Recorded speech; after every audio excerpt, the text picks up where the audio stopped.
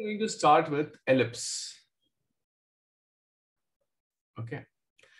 Ellipse is basically a conic which is generated when a right circular double cone, when a right circular double cone is cut by a plane.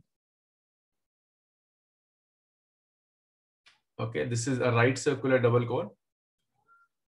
This is the axis of the cone. Okay, and we all know this angle is called the, this angle is called the semi-vertical angle. Okay, this angle is called the semi-vertical angle. So if you have a plane which is cutting this right circular cone, let me make it in white. Yeah.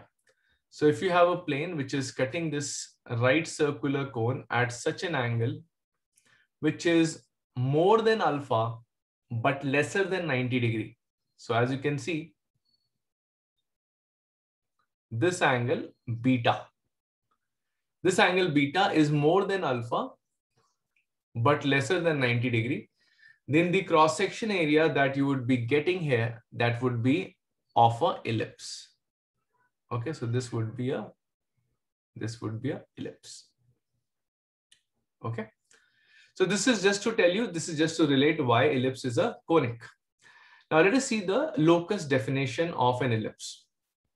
By the way, the locus definition that we had for parabola and that we'll be having for ellipse and that we will take up for hyperbola, they're all same. They just differ in one aspect. We'll be discussing that aspect right now.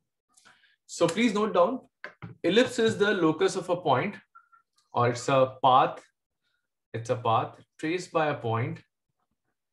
Traced by a point. By the way, this is locus definition one. There's a locus definition two also. We will talk about it little later on in our discussion. This is locus definition one. Okay.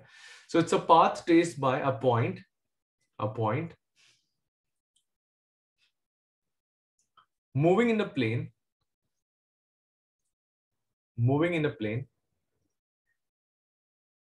in such a way, in such a way that the ratio of its distance, distance from a fixed point, from a fixed point to that from a fixed line, that from a fixed line is a constant, is a constant where this constant has a value between 0 and 1, not including 0 not including one. Okay. So let me repeat this definition once again, and I'll also point out what are the what is that critical point and what is that line and what is this constant actually called. So it's a path traced by a point moving in a plane. Yes, uh, ellipse is a two-dimensional object. Okay. So it has to be moving in a plane. It cannot move in a three-dimensional plane. So it is moving in a plane in such a way that the ratio of its distance from a fixed point. Okay. Now this fixed point, as we already know, it's called the focus. Okay. And that from a fixed line that we already know is called the directrix. Directrix.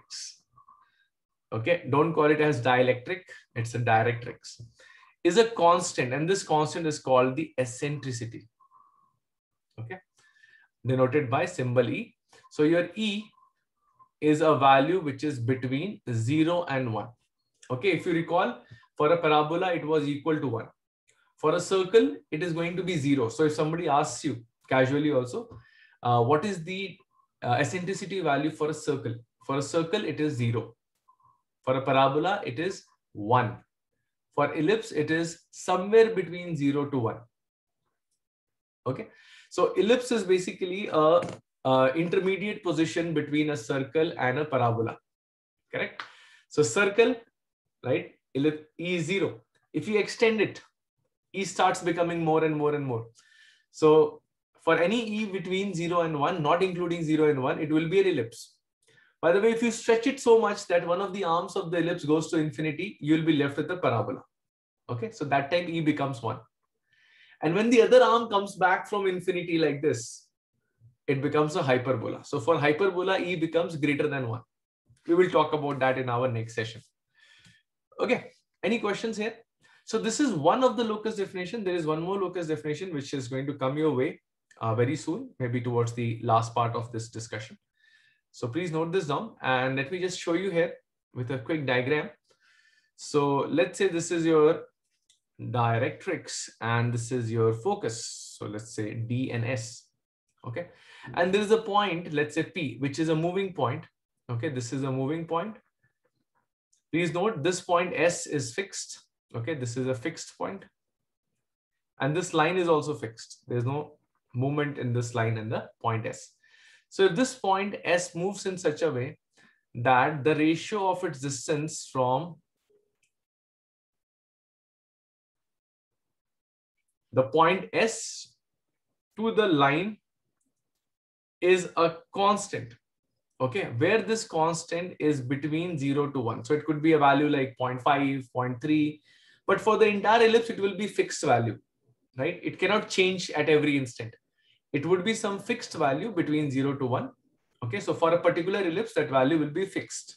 Okay, it could be any number between 0 to 1. So when this point P moves, it is going to trace a path which is going to look like this. Let me use a different color. Yeah, it's going to look like somewhat like this. Okay. So anywhere it moves, anywhere it moves. Okay, let's say I keep it here. Okay, this distance, let's say P is here, divided by this distance, divided by this distance. Okay, that will also be the same value E. Okay, so anywhere it goes on the ellipse, it's going to satisfy it. Now it has been figured out that maintaining the same E value, okay, for the same set of points, there could be another position of focus and directrix. So let me make that with a different color. Let's make it with blue color. So there could be another focus and there could be another directrix. So unlike a parabola, unlike a parabola, an ellipse has a pair of focus and directrix. That means there are there is one focus, one directrix, which is this one, okay, which I have shown over here with S and D. And there could be another focus and another directrix corresponding to it, such that the very same point maintains the same ratio that means if I take if I take S dash P by P M dash, that ratio will also be E. Okay. So unlike a case of, unlike the case of a parabola, an ellipse has got two foci and two corresponding directrices, or you can say a pair of foci and directrices. Okay. Now, ideally speaking, I mean, if I just generalize the situation, uh, there is always two foci and two directrices so as to be you know very generic how see in a circle. Okay circle also has two foci but those two foci overlap with the center. That's why you don't see it. Okay and the two directrices of a circle are at infinity. One is at minus infinity other is at plus infinity. That is why you can't see the directrices also. And we don't even draw it. Okay. Now when the stretching starts when you start stretching a circle to make it an ellipse, the two foci get separated from the center. And the, and the directrices corresponding to those two foci, which were initially at infinity and minus infinity, they come at a finite distance. Okay. And when you stretch it so much that one of the one of the uh, branch or one of the you can say uh, part of the ellipse breaks and goes to infinity, then what happens? One focus and its corresponding directrix goes off to infinity. Okay. That is why in a parabola, we only see one focus and one directrix, but in reality, actually, there are two foci and two directrices corresponding to it, but one pair is at infinity. That is why you are not able to see it. You are not able to see it. Yeah. Is it fine? Any questions? You can say so, yes. Yeah. So ellipse is the general case of that. Absolutely right. So circle and parabola both are extreme cases. Ellipse you can say is a generic case, right? Is it fine? Now I would like to demonstrate this on the GeoGebra tool as well, just to show that how on every point on the ellipse, this ratio is maintained as a fixed value. So let us see that.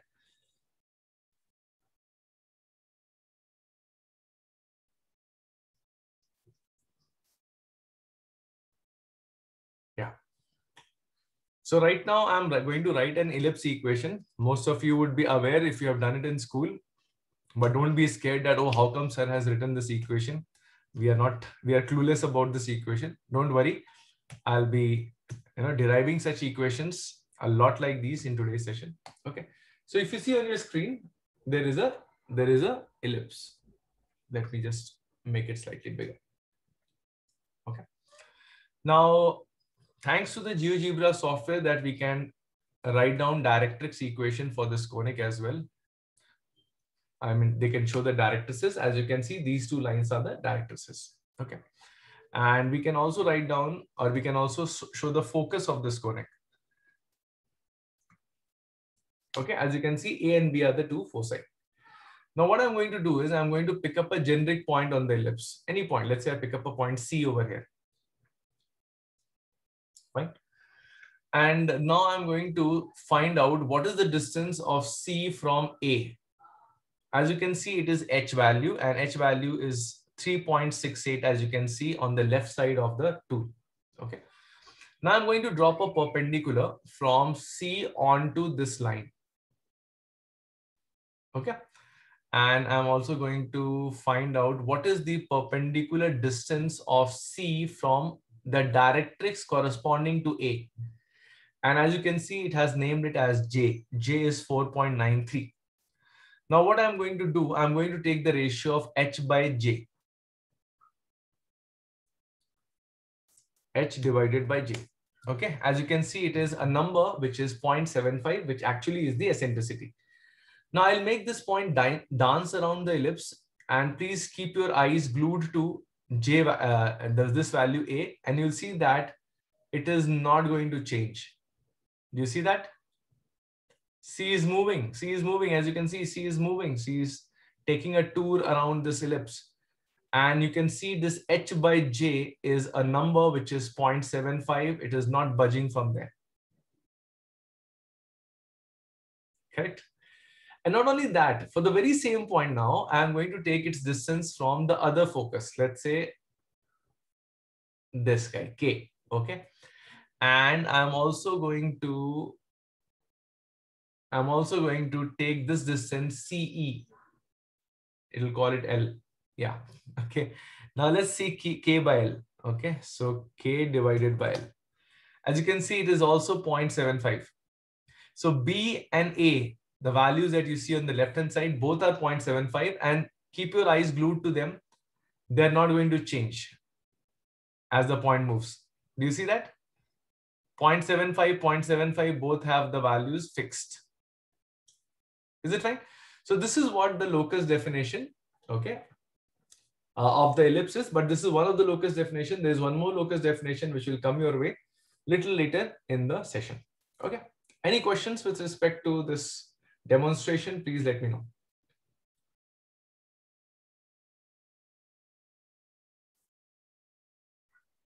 All good? Okay, great. Now let's learn certain terms, certain terms associated with the parabola.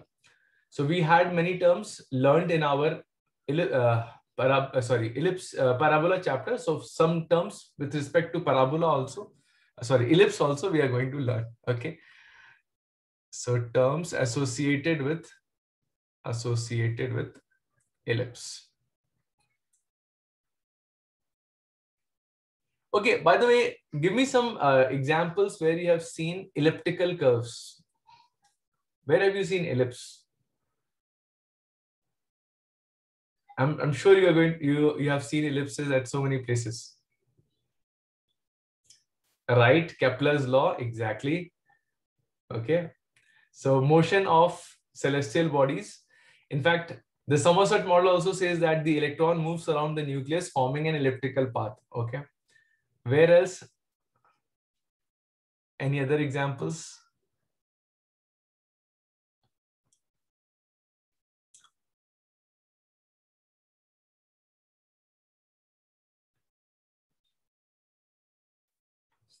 Watermelon. Okay. many of the uh, many of the you know bridges and arcs they are made up of elliptical. They are of elliptical path actually. Yeah. The base. There's a you know baseball. Uh, what do you call that? Mm, not it's not a baseball. It's actually a. You can say baseball also, but. Uh, American football, they call it. That ball is also somewhat elliptical in shape. Anyways, let's look at certain terms. So as you've already seen that these, uh, you know, these points are called the foci and these are the directrices corresponding to those points. Dear all, I would like to repeat here. S1 and D1 are associated to each other. That means if you're referring to any points distance from S1, you should take the points distance from D1. Then only that ratio will be E. Okay. Please do not interchange it. Don't do like, let's say if I take a point P here, don't say that P S1 or S1P divided by the perpendicular distance of P from D2. That is E. Don't say that. That is will be going to be wrong. So these two uh, you know pairs, they are linked to each other. So this focus and this directrix are married to each other. Similarly, this focus and this directrix is married to each other. So if you're referring many times in the question also, they will say this is the focus and this is the directrix. So they mean to say this is the directrix associated with that focus. Okay. So we already know that these two are called the focus. So this is focus one, focus two. There's nothing like focus one, focus two. This is just two foci.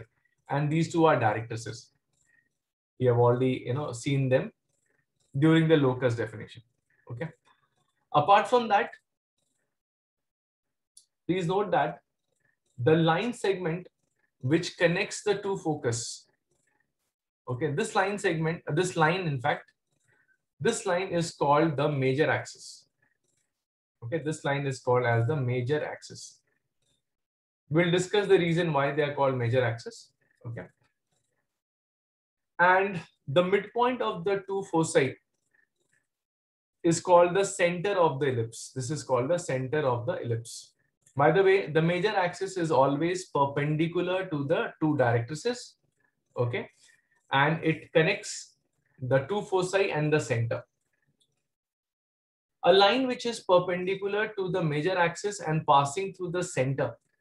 Okay. This line is called as the minor axis. This line is called as the minor axis.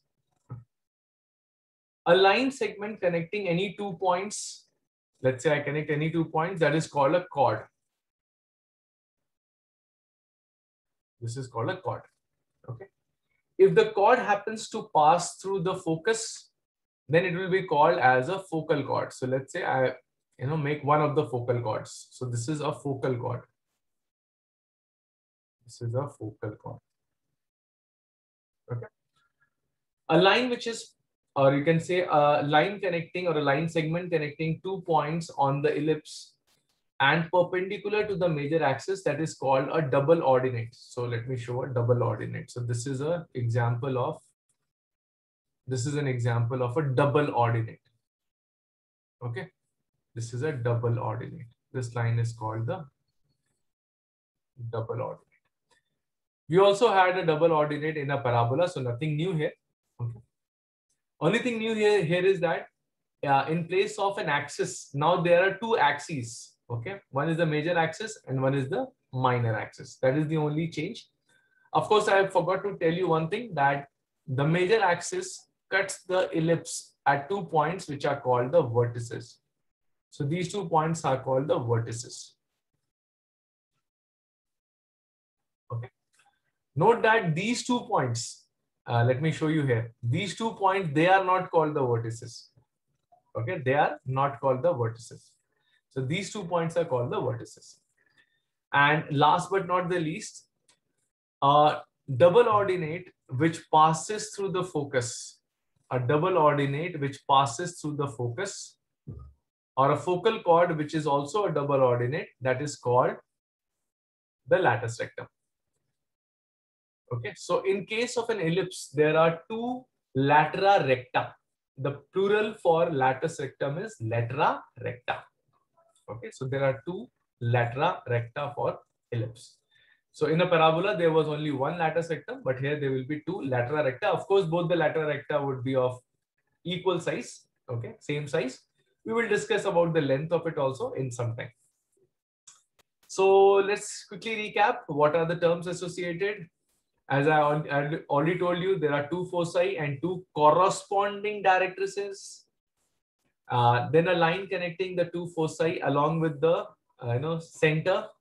That line is called the major axis. Major axis is perpendicular to both the directrices. A line passing through the center and perpendicular to the major axis is called the minor axis. A line segment connecting any two points on the ellipse is called a chord. If the chord passes through the focus, it will be called as a focal chord. A line, or you can say a chord which is perpendicular to the major axis, that is called double ordinate. And if a double ordinate passes through the focus, it is called latus rectum. So there are two latera recta in case of an ellipse. Any doubt, any questions with respect to this?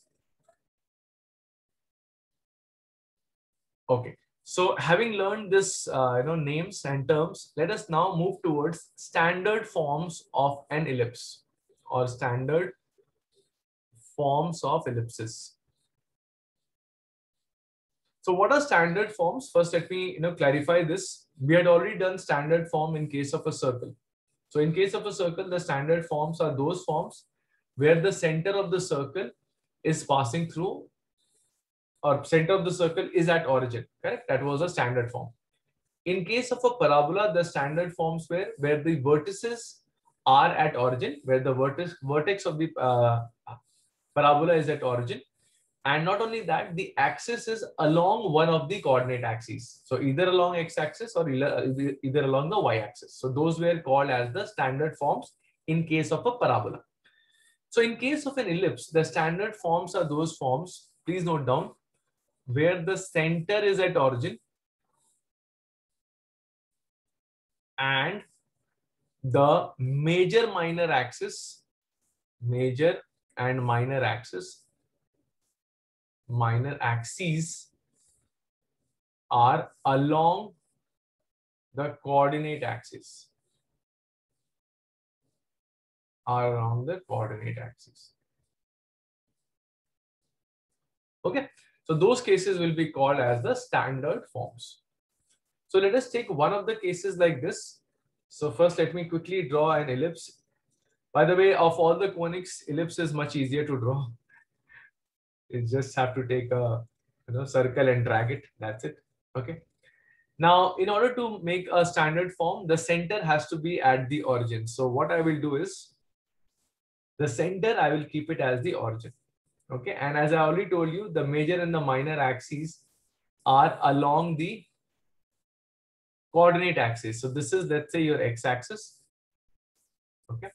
And this is, let's say, your y-axis. X-axis, y-axis. This becomes your center origin. Okay.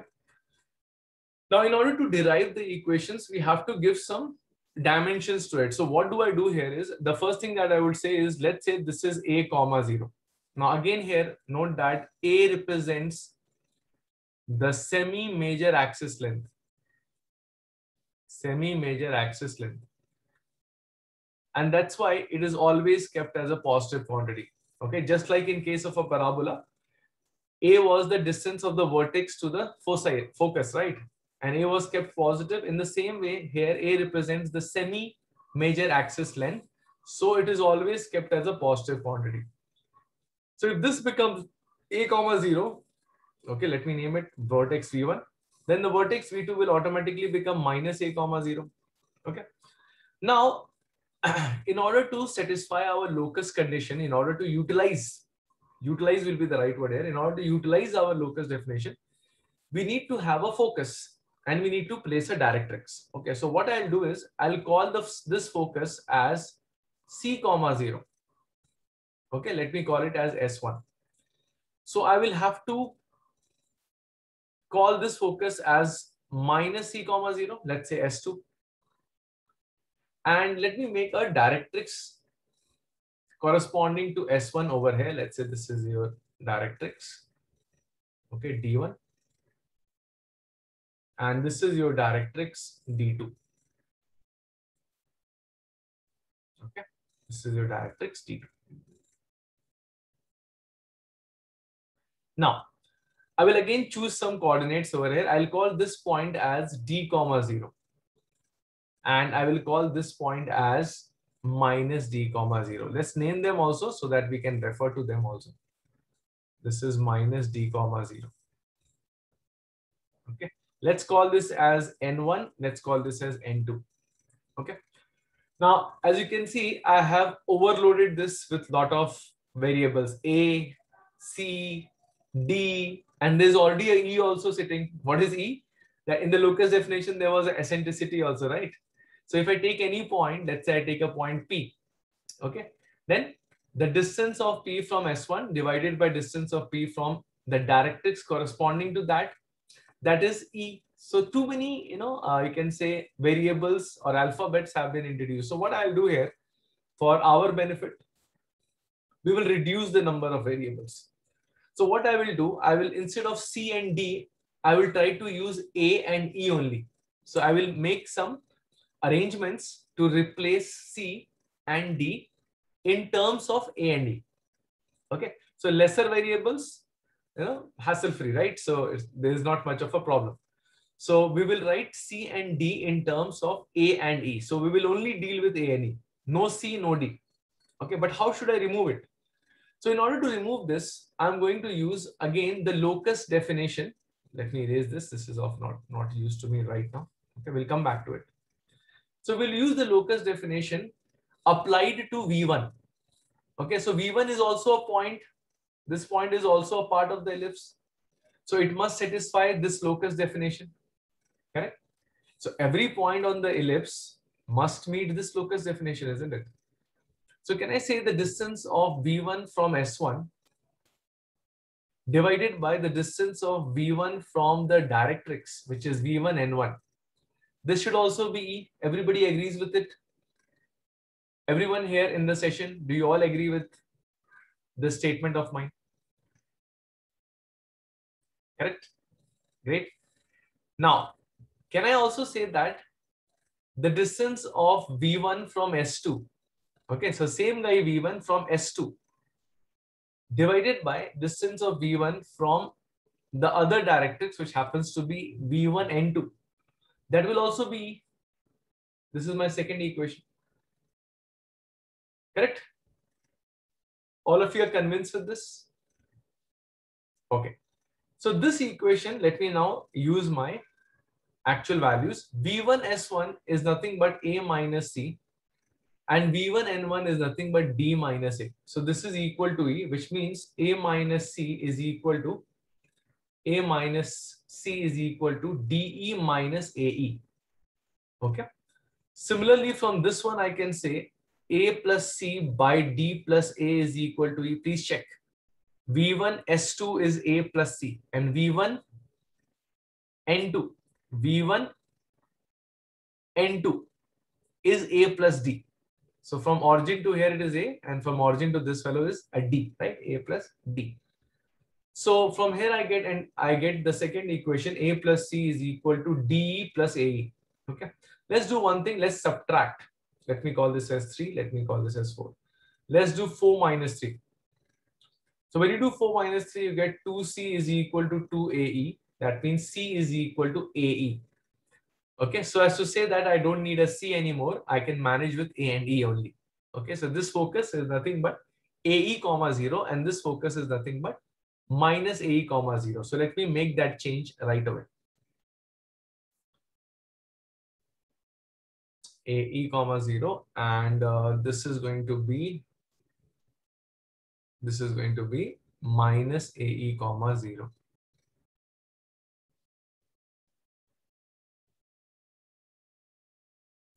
Okay. Now, we'll do one more thing. We will uh, add these two also. So let us add 4 and 3. So when you add 4 and 3, you get 2a is equal to 2de. So from here, you get d as a by e. Okay. So now going forward, I will not call this point as d comma 0. I would rather call it as a by e comma 0. And it brings in one more advantage to us. Since your directrix is parallel to the y-axis, it's parallel to the major axis. Remember, both the directrices are parallel to the major uh, minor axis and they both are perpendicular to the major axis. Again, I'll repeat, both the directrices are parallel to the minor axis and perpendicular to the major axis. Correct. So this equation now becomes x equal to a by e.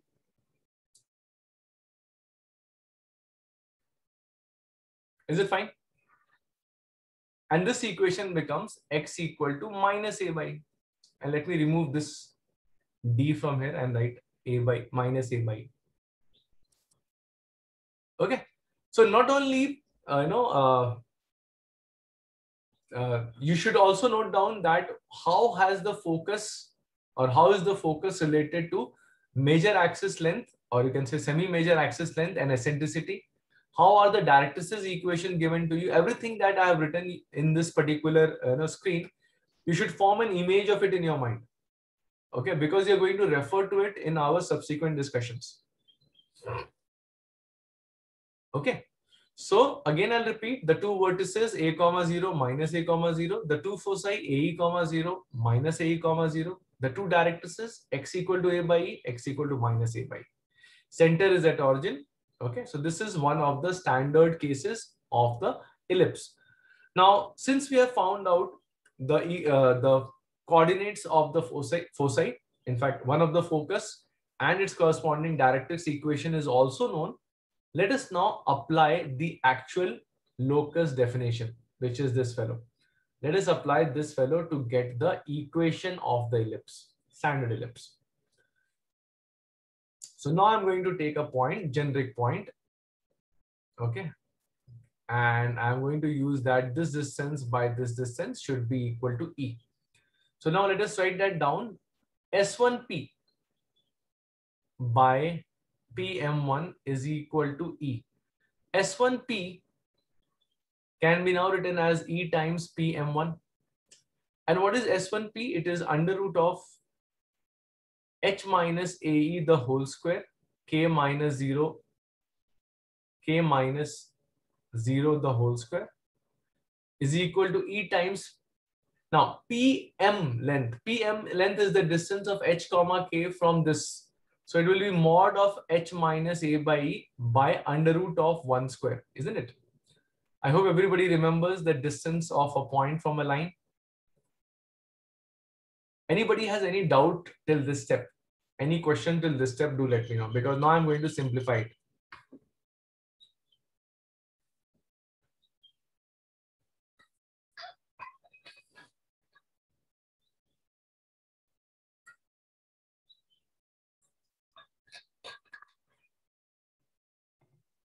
No questions? All fine? Great. So let's simplify this. Let's square both the sides. So h minus ae whole square plus k square is equal to, now here, this e could have been introduced inside also because e is a positive quantity.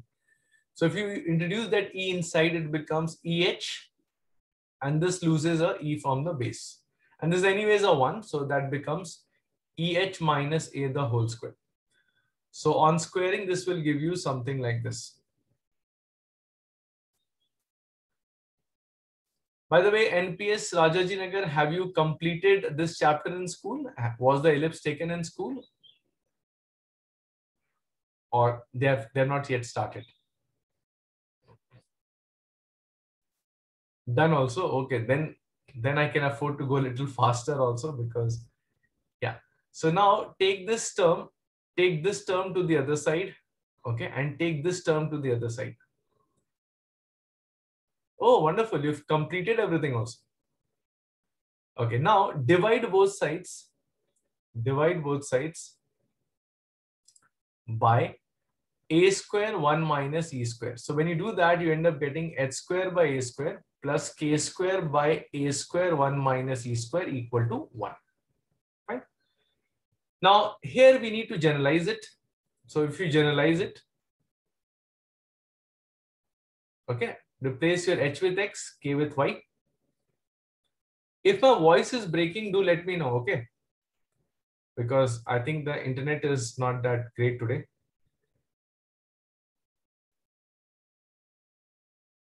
Okay. Now this fellow, this fellow actually looks little ugly to remember. So what do we normally do? We call this term as a b square. Okay, so what do we do? We start calling this term as a b square. So we'll say let this be b square. Okay, now many people ask me, sir, you are calling it as a square of something. That means you are sure it is a positive term. Is it a positive term? I'm asking you. Are you sure that a square 1 minus e square will be positive?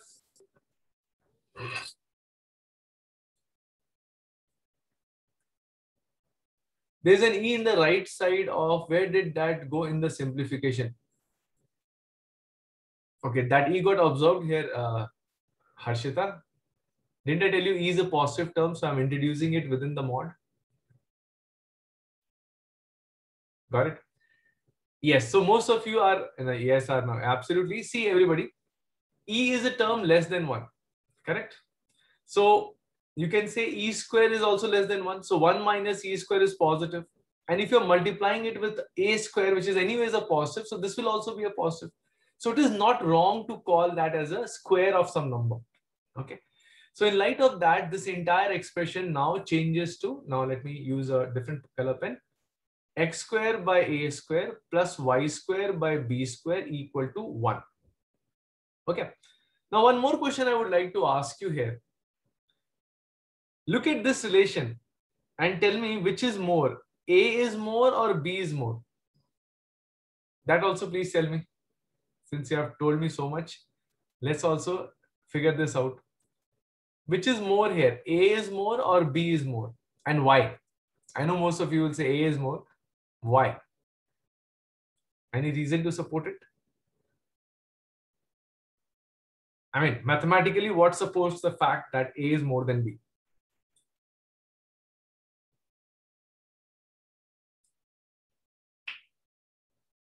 Okay, so we all know that e square, e square is positive number, right? Yes or no? E square is a positive number.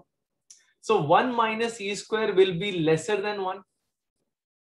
Because if you're subtracting a positive quantity from 1, of course, it, it is lesser than 1, but it is still positive. Okay, so, so 1 minus e square will be lesser than 1. Okay, if you multiply a square throughout, right? So a square 1 minus e square will be lesser than a square. And this term is anyways a b square. And since a and b both are positive quantity here, we will say b should be less than a. Okay. So in our equation that I have written over here, I would like to add one more thing that in this equation, your b is less than a or a is more than b. Are you getting my point? So this page is completely filled up. I'm going to do some analysis related to the standard form in our next page. Okay, so if you want to copy anything down from here or note anything down from here, please do, you know, notice down.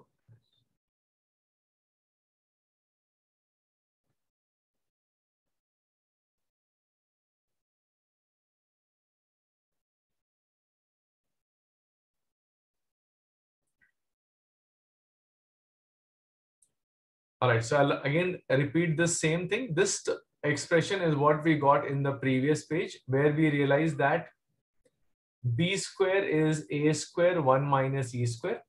Okay, and of course, by the virtue of this fact here, b is or a is more than b. Okay, so let me draw that ellipse once again. And we will do some small analysis over here. The first thing that we are going to discuss over here is the length of the major axis. Okay, so please everybody note this down. The distance from one vertex to the other, that is called the length of the major axis. Now many people are surprised. They say, sir, isn't, uh, isn't a major axis a line? So how are you talking about length of a line? Because line is an infinitely extending geometrical figure.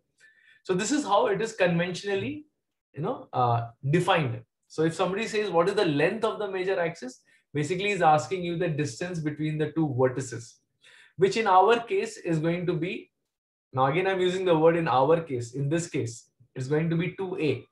That means if I change the case, this length will also change. So that is something to be, you know, later on for discussion, we will take that up. But as of now, for this ellipse, please note down, the major axis length is 2a here. And because, because a is more than b, in fact, let me complete this. I'll, I'll, I'll talk about that.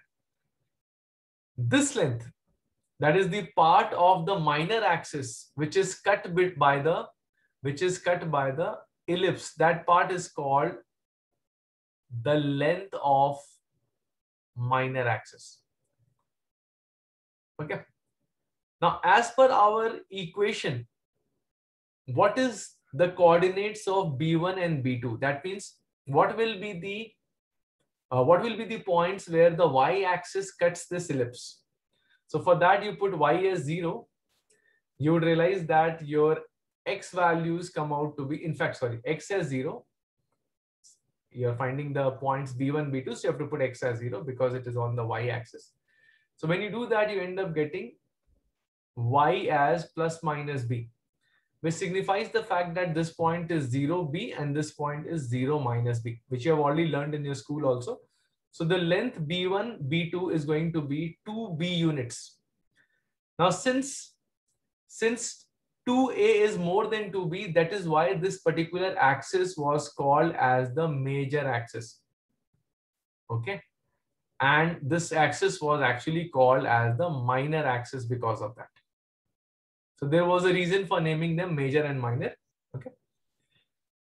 Next thing that I would like you to notice down here is that the eccentricity that you would get in terms of major and minor axis can be obtained from this equation itself a square is equal to, sorry, b square is equal to a square 1 minus e square. So from there, let me just write that down first. So b square is equal to a square 1 minus e square. So from here I can say b square by a square is 1 minus e square. So e square is 1 minus b square by a square. So e is under root of this. Okay. Now please make a note here. This is a very, you can say a generic case, which is true for this standard ellipse, but there is a universal formula for this. Universal formula for eccentricity is it's under root of 1 minus the semi-minor axis length square upon the semi-major axis length square. Please note this down. This is true for any ellipse. Any ellipse. That is why I've called it as a universal formula applied to any ellipse. Okay. So eccentricity of an ellipse in terms of major and minor axis length is given by under root of 1 minus semi-minor square by semi-major square. Now, this is such a beautiful formula that even if you try, even if you try to misuse it, you cannot. Because many people swap the positions of A and B by mistake. Okay. But if you do that mistake, the formula will automatically flash out that you are doing some error because 1 minus this quantity will become more than 1 in that case. So under root of that will actually be like under root of a negative thing. So even if you swap the position of A and B, the formula will the formula will not let you do that. Okay. So if even if you want to make a mistake, you cannot. so please note this down. Please note this down. Okay. The third thing that we are going to discuss here is the distance between the distance between the foci. Distance between the foci, we have already discussed that will be 2AE. Okay. By the way, there is a universal formula for this. It is always eccentricity times the length of the major axis. Okay. So the distance between the two foci is always, for any ellipse, is always eccentricity times the length of the major axis. Fine. Now let us go ahead and find the lengths of the latera recta. Latera recta. So let me just draw one of the latera rectas. One of the latera recta. Okay. So let's say LR. What is this length LR? So um, may I ask you to spend some time and tell me what is the length LR? Everybody please do it on your respective notebooks and tell me the length on the chat box. I know you have already done it in school, but still a quick exercise for you all.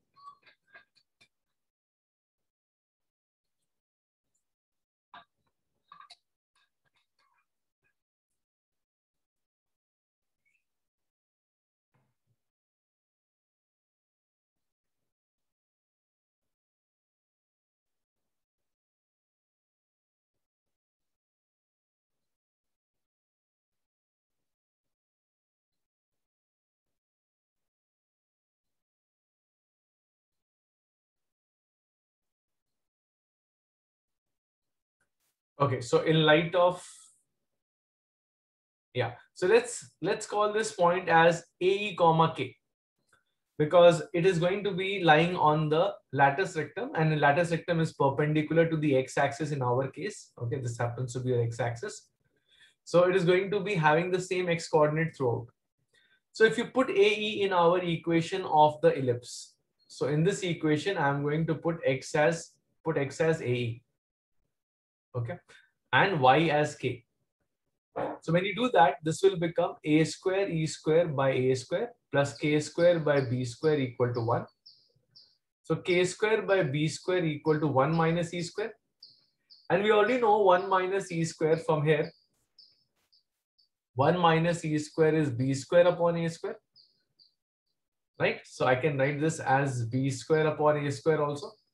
So this gives me k square as b to the power 4 by a square, which means k is plus minus b square by a. In other words, if I call this as b square by a, the r coordinate will be a comma minus b square by a. So this is b square by a. So this point will be a comma minus b square by a. Okay. So the length LR will be nothing but 2b square by a units. Please note this down. And I'll give you a universal formula also. It is twice of semi-minor square upon semi-major. This is a universal formula for length of the latus rectum. So length of the latus rectum, universal formula. That means it's going to be applicable to any type of a ellipse.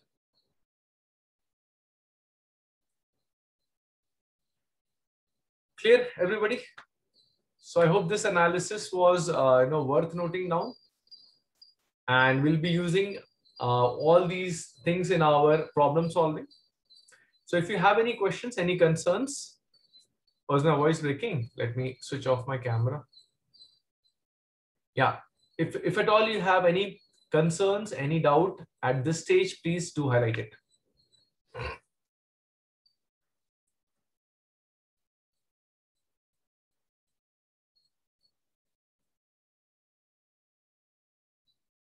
Okay. Shall we move on to the second standard case? Okay. So standard case two. So this is the case. As I told you, uh, the standard cases are those cases where the center is at origin and the major and the minor axis are oriented along the coordinate axis. So in this case, what I'm going to do, I'm going to keep my major axis along the y-axis. Okay, so I'm going to keep the major axis along the y-axis, which means my foci should lie on the y-axis. So let me draw it. Uh, let's use a different color. Okay, so let's say this is my foci, S1 and S2. Now what I'm going to do is I'm going to I'm going to give some coordinates to this major axis. This is your minor axis. I'm going to call this point as 0 comma b and this point as 0 comma minus b. Okay. So this S1 becomes 0 comma BE and S2 becomes 0 comma minus BE.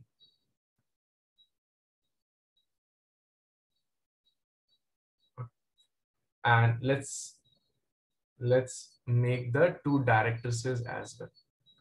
Okay, I'm making a small one, not a big one. Okay. And this directrix equation, I will also mention next to it. This is y equal to b by e, y equal to minus b by e. Now again, using the locus condition, let's say I take any generic point h comma k. So using the fact that S1P by PM1, sorry for that crooked line. Let me just make it again. Okay. Yeah. So again, using the fact that S1P by PM1 is going to be E. Let us now derive the equation of this ellipse as well. So S1P is going to be E times PM1. So S1P will be nothing but under root of H minus 0 the whole square, K minus BE the whole square. Okay. And PM1 will be mod of, please note this down, mod of K minus B by E. Correct? So this length is nothing but K minus B by E mod. Yeah. If you want, you can write under root of 1 square also, not an issue. Now what I'll do is I will introduce this E inside just like how I did it in the first standard case and I'm going to square both the sides. So I'm just skipping some steps. I don't need a bracket here. Yeah. So E when introduced inside will become EK minus B and square. So this will become H square K square minus or you can say plus B square E square minus 2KBE this also e square k square plus b square minus 2kb. 2kb minus 2kb will get cancelled off. Take this term to the left side and take this term to the right side. So that is going to give you something like this.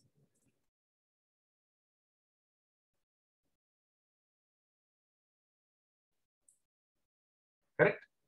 Now divide both sides by b square 1 minus e square. So that's going to give you this.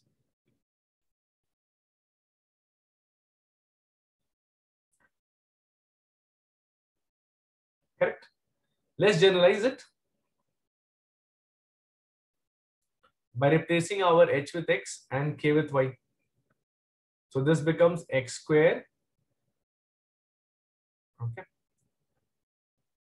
Now, Everybody, please note this down. If you want me to scroll up or down, please do let me know. First note this down and then we will talk something related to this equation.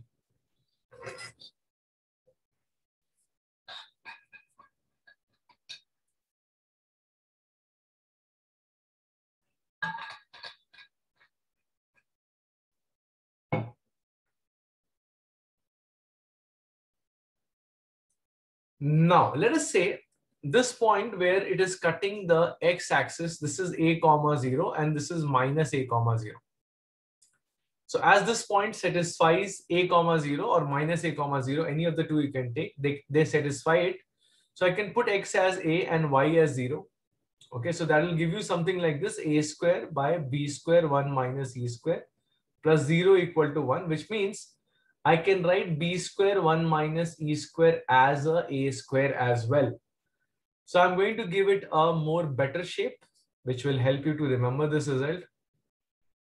Okay.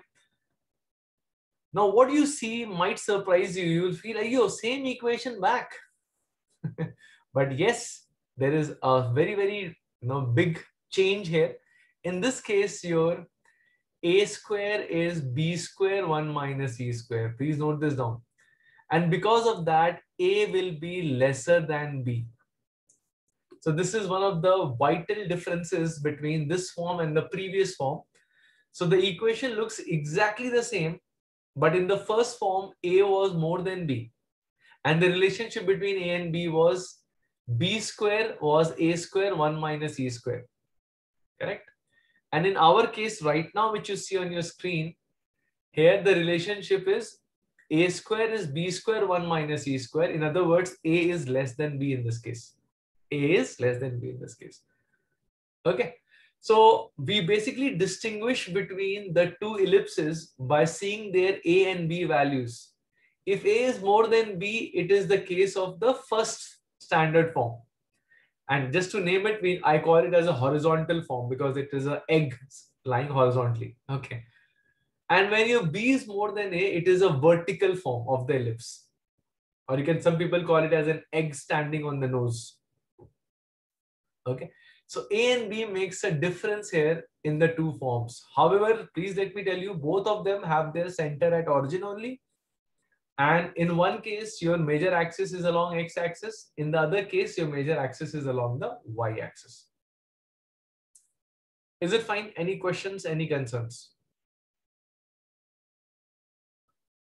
And also, I would request you to note down the vertices coordinates, the foci coordinates, the equation of the directrices, everything over here from this diagram.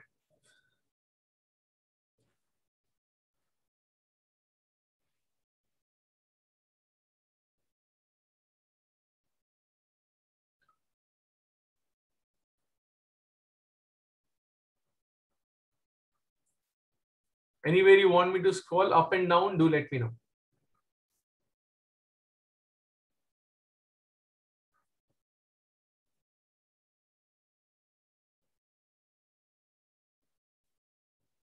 Okay, couple of analysis that I would like to do here. Number one, the length of major axis in this case will be 2b units. Okay. The length of minor axis in this case will be 2a units.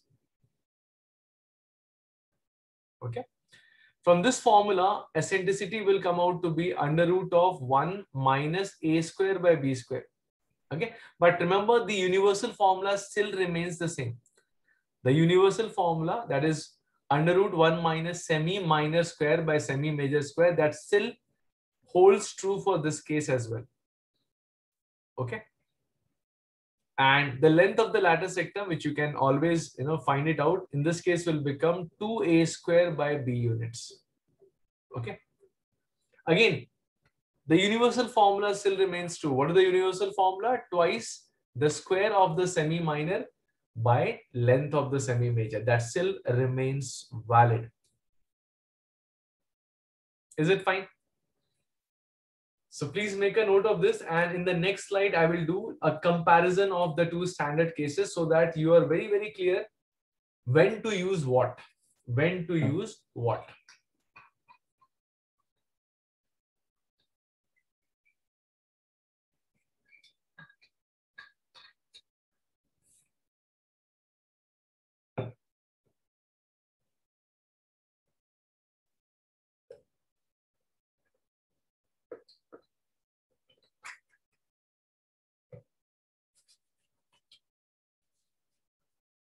Fine, noted this down.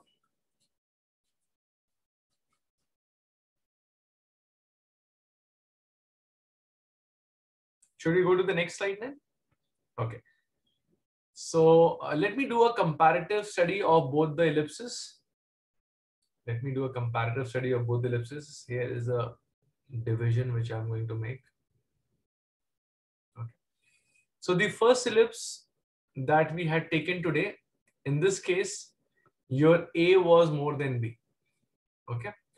And the second ellipse which I had taken, or the second standard form, where your B is more than A. So see, the equations, more many of the people say, sir, the equations is same. So how do we distinguish it? So this, the distinguishing factor here is your A and B magnitudes. If A is more than B, it is a case of a horizontal ellipse or case one of our standard form. If B is more than A, So these values will be given to you in the exam. Don't worry. Right now I'm writing A and B. That doesn't mean the examiner will also give it to you in A and B. Of course, they will provide some values.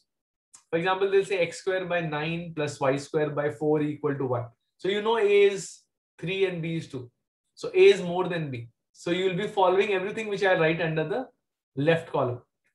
If your b is more than a, let's say x square by 4 plus y square by 9 is equal to 1. So there your a is 2, b is 3. So b is more than a there. So you'll follow everything which is which is uh, what I'm going to write under the right column. Okay. Just a rough diagram for both of them so that you are clear about their images as well. So in such cases, your ellipse looks like egg kept on the base here it looks like an egg kept on the nose, something like this. So horizontal and vertical. And let's also write down the distinct, uh, distinction between them with respect to their center, eccentricity, vertices, foci, equation of directrices, directrices, uh, length of the latus rectum, length of the major axis. In fact, equation of the major axis will also take up.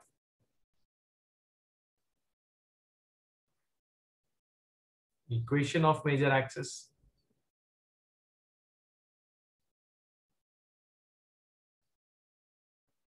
Length of minor axis. Equation of minor axis. I think full bio data we have created for this two standard cases of ellipse. Okay. Now this chart that I'm going to write over here, this chart should be committed to your mind. And of course, you will be only able to commit this to your mind once you practice now all the questions given to you in the DPPs, which I'll be giving to you after the class. So please note down, center for both the ellipses is 0, 0. Eccentricity for this ellipse is 1 minus b square by a square. But for this ellipse, it is 1 minus a square by b square, as we have already discussed. Vertices a comma 0 minus a comma 0. Here it is 0 comma b and 0 comma minus b. Foci here is ae comma 0 and minus ae comma 0. Here it is 0 comma be and 0 comma minus be. Here directrices are x equal to a by e and x equal to minus a by e. Here the directrices are y equal to b by e and y equal to minus b by e. Latus rectum length here is 2b square by a. In this case, it is 2a square by b. Length of the major axis is 2a. Here length of the major axis is 2b. Length of the minor axis here is 2b. Here it is 2a. Equation of the major axis is your x-axis. Equation of the major axis here is your y-axis. Equation of the minor axis is your y-axis. And equation of the minor axis here is your x-axis. So please, you know, make a note of this chart.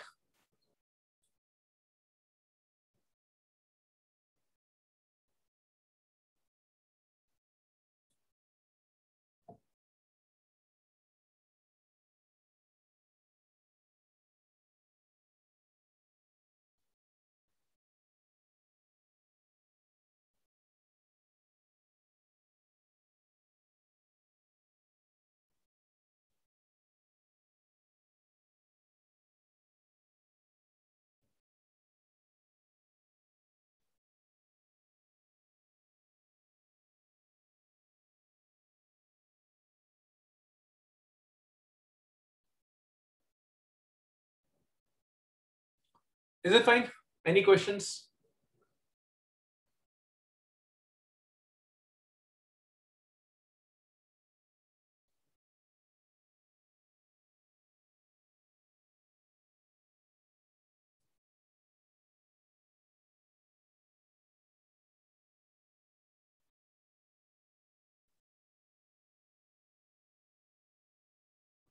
Okay. Now let's take few questions right from your locus definition. Let's take few questions right from the locus definition.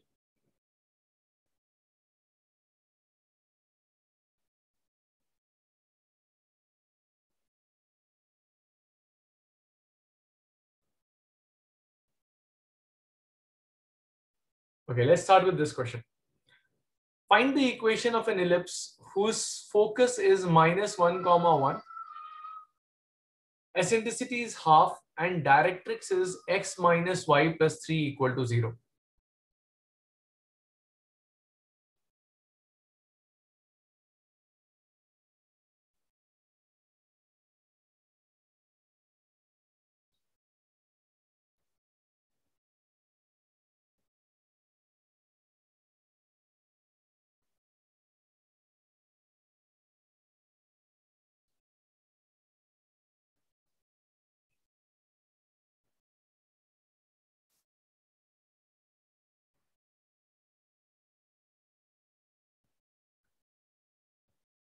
Give me a response in the chat box or a done is also good enough. This is just to check whether you have understood the locus definition.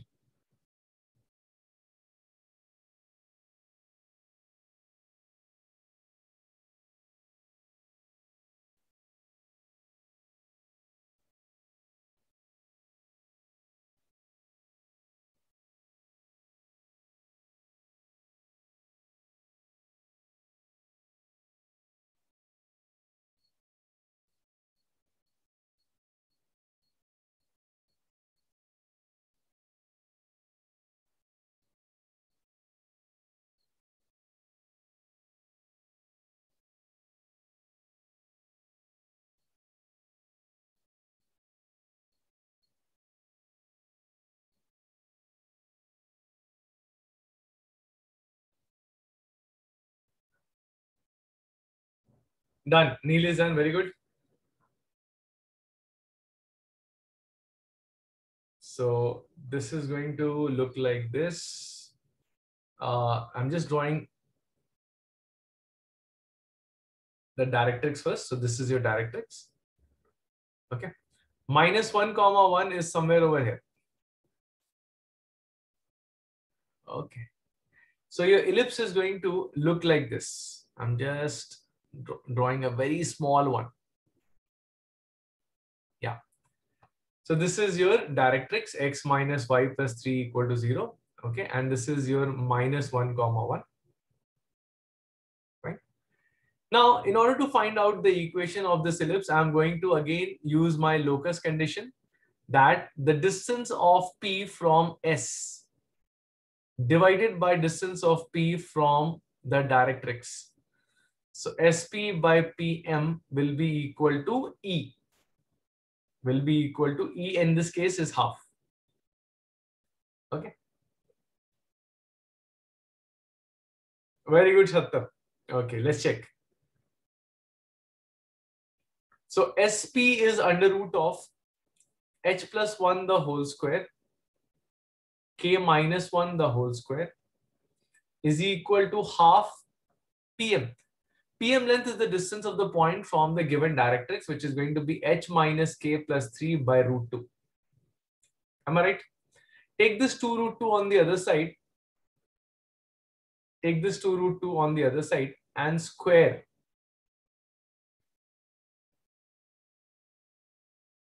Okay, let's square both the sides.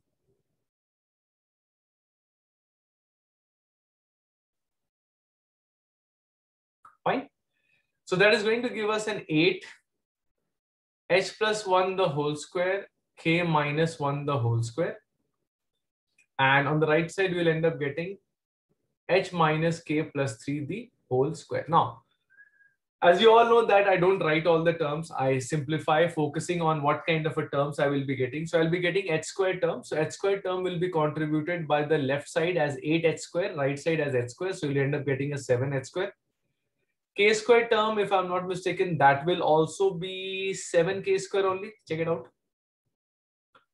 HK term will be contributed only by the right hand side term, which is going to give you minus 6 HK. But when it comes to the left hand side, it will become 6 HK.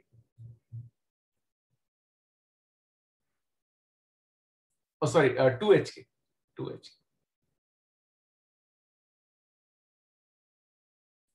Correct? And H term here will be 16H and from here you will get 6H. So you'll end up getting a 10H K term will be minus 16K and from here you'll end up getting minus 6K. So that will be minus 10K. Constants on the left will be 16, 1 plus 1 into 8, which is 2 into 8, 16. And the right side will be 9. So that will leave you with a 7. Now you can generalize it. You can generalize it by replacing your h with an x and k with a y. So that's going to give you a 7x square, 7y square 2xy plus 10x minus 10y plus 7 equal to 0. So as you can see, the equation of the ellipse can become as ugly and complicated as what you see on your screen right now. Okay. So the ones which you saw, those were very special cases. Those were standard cases. Please don't forget that. Right? Why I'm emphasizing on this fact is because the moment I say an ellipse, the image that people get in their mind is x square by a square plus y square by b square equal to 1. That's a very special form. Please understand it. So an ellipse equation can have plethora of other terms like xy term can also be there. X can be also there. Y can also be there. Are you getting my point? So don't be like so rigid in your understanding of ellipse that all the ellipses in this world are standard ellipse. Now, this is no mistake of yours because in CBSE, we only talk about standard forms, right? There's no other form discussed in CBSE at all. But that's not going to be the case for competitive exams. So for competitive exams, standard forms will be very rare. Mostly you'll be dealing with non-standard forms. Okay. So please understand that you may end up getting a case like this also where your ellipse is an oblique one. Oblique one means making whose axes are making certain angle with the coordinate axes. Is this fine? Any question, any concerns with uh, this problem itself?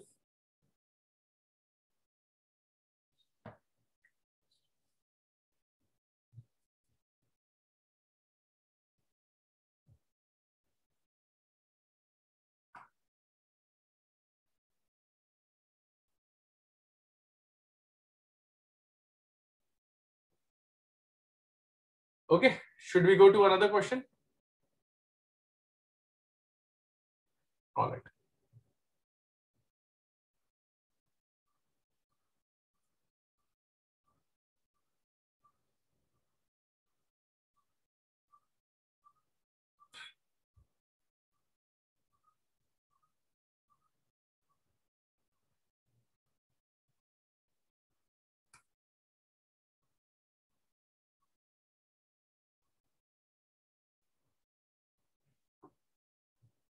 Okay. So we'll take this question. Find the equation of the ellipse referred to its axes as the axes of coordinates. That means basically they're saying that the axes of the ellipse are along the coordinate axes. Okay. Now there are four sub questions in it. I will not ask you to do everything. Um, maybe we can touch upon the first one. Okay. Um, let's take third one and fourth one. First one, I would need the answer. Table. Yeah, yeah, yeah. Why not? Harshita, sure. I'll show you the table after this.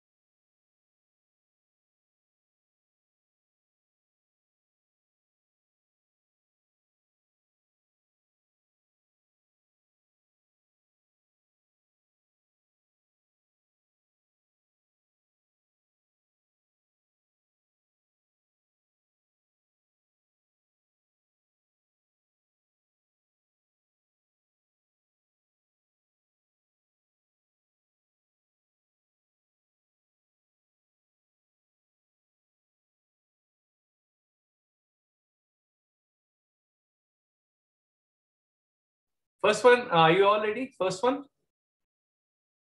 Okay.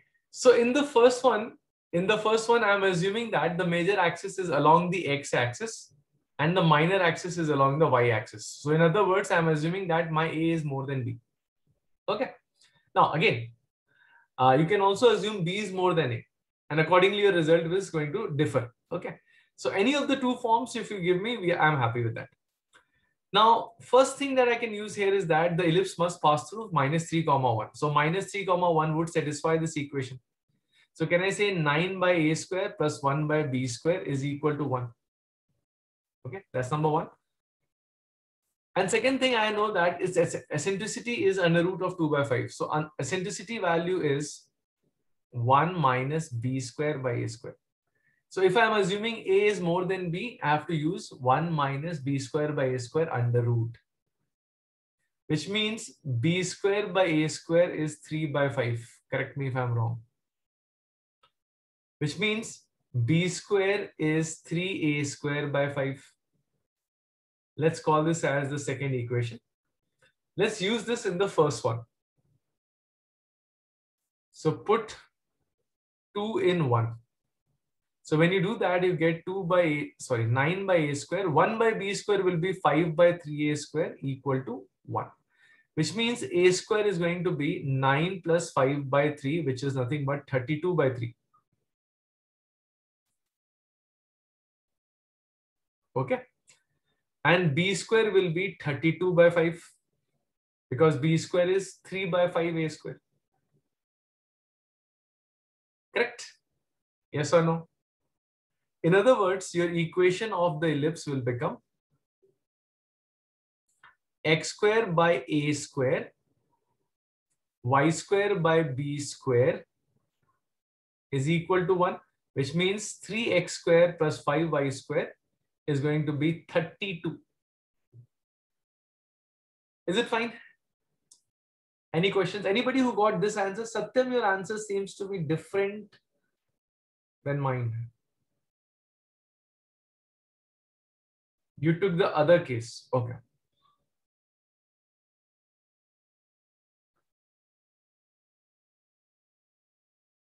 All right, next one, uh, third one. Find the equation of an ellipse which passes through these two points. Okay.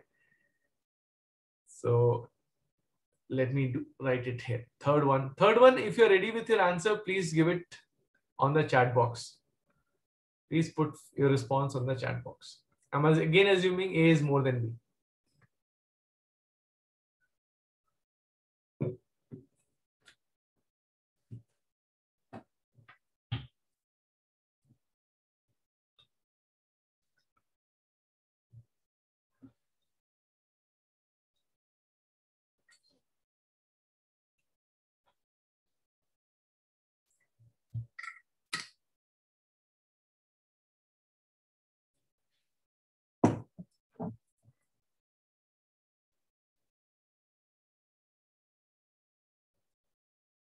Uh, do I need to show the question? Because I think these two points are you know, required, 2 comma 2 and 1 comma 4.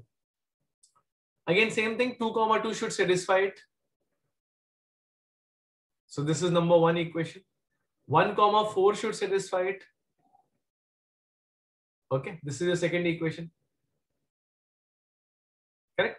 Just subtract both of them. If you subtract both of them, you'll end up getting 3 by a square minus 12 by b square is equal to 0. In other words, in other words, b square is 4a square. Okay. Put this in your any one of the two. Let's say I put it here. So 4 by a square and 4 by b square. b square is again 4 by a square so you'll end up getting 5 by a square is 1.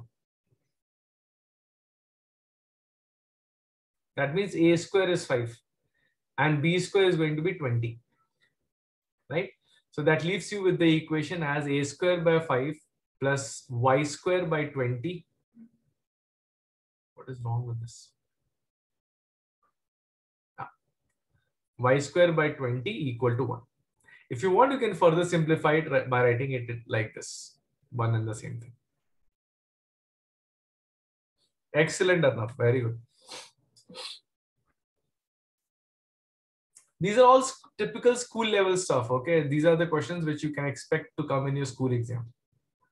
Next, uh, foci is at plus minus 2 comma 0 and latus rectum is 6. So fourth case, I will write it over here. Foci plus minus 2 comma 0 and latus rectum length is 6 units. Yeah, please do it and give me a response in the chat box.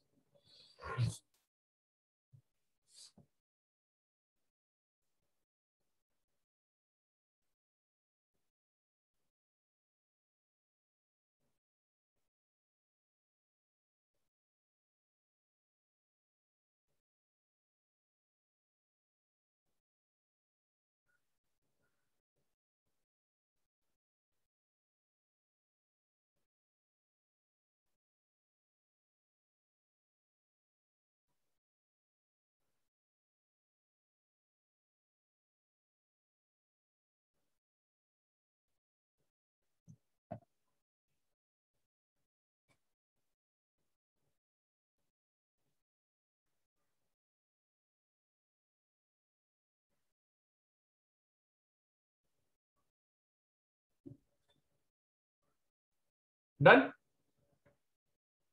Still doing?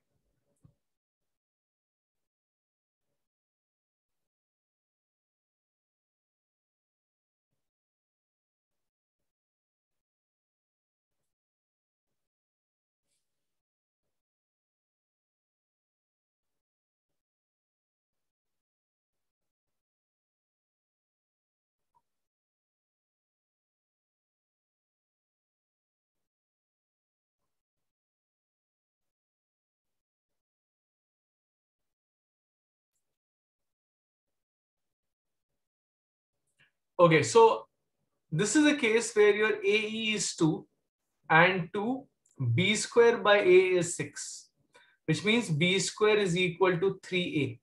Correct. Now what I'm going to do is I'm going to square the first equation. So from 1 I can say a square e square is 4. Correct. Now please understand here e square is 1 minus b square by a square. So that means that means a square minus b square is given to you as 4. Which means a square minus 3a is 4, which gives you a quadratic in a. I think this is easily factorizable as a minus 4, a plus 1. Remember, a can be 4, a cannot be minus 1. As I already told you, this is accepted. Okay. As I already told you, A is the distance or A is the length of the semi-major axis. Cannot be negative. Okay. So if A is 4, so if A is 4, what is your B? Correct? So if A is 4, b square is going to be 12. Correct no? So you end up getting the equation as x square by a square, y square by b square equal to 1. Okay. Yes, you can easily write it as 3x square plus 4y square is equal to 48 as well. Is it fine? Any questions? Any questions? So for your school, this would be like a four marker, something like that.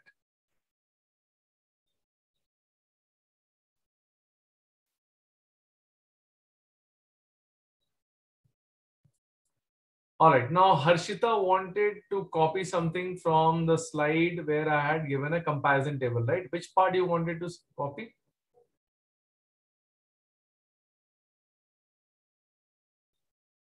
Second half second half is this one, yeah.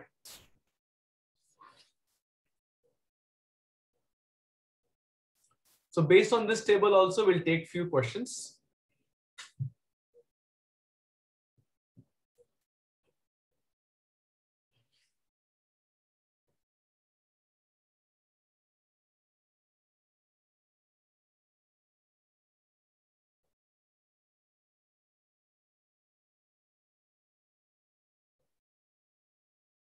Done. Okay. Fact, let me take a new board.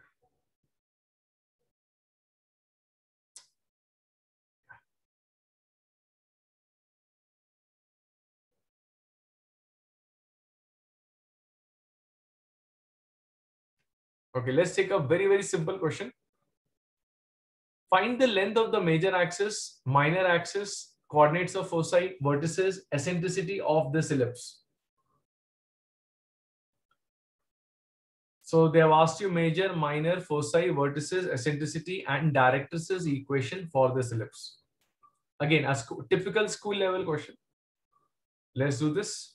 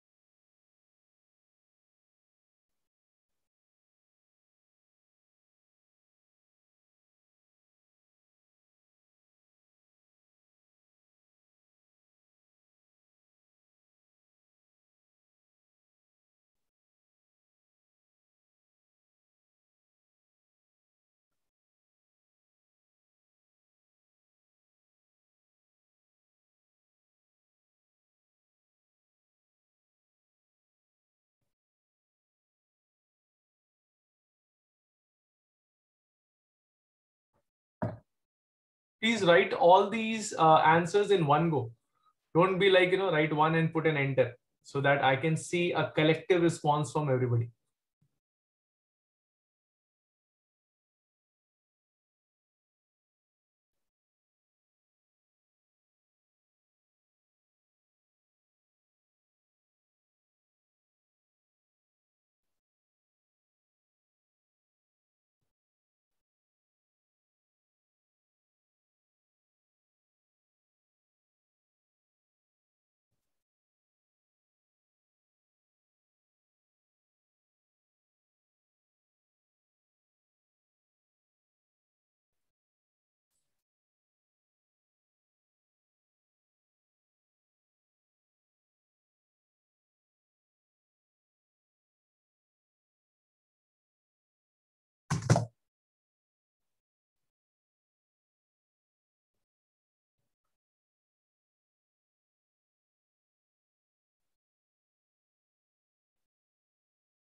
Okay, Vishal, very good.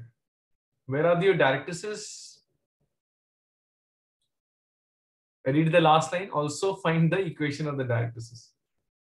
Okay, so Harshita has altogether different set of answers. Okay, Harshita. Okay, Satyam. Nice. Anybody else?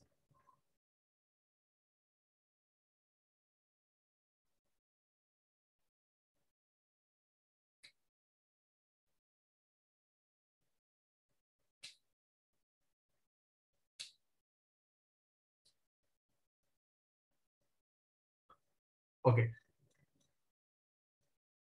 Okay, so some of you have responded and few of your answers are common, but few of you are deviating from those answers as well. Okay, let's check who is right, who is wrong. We will come to know in some time.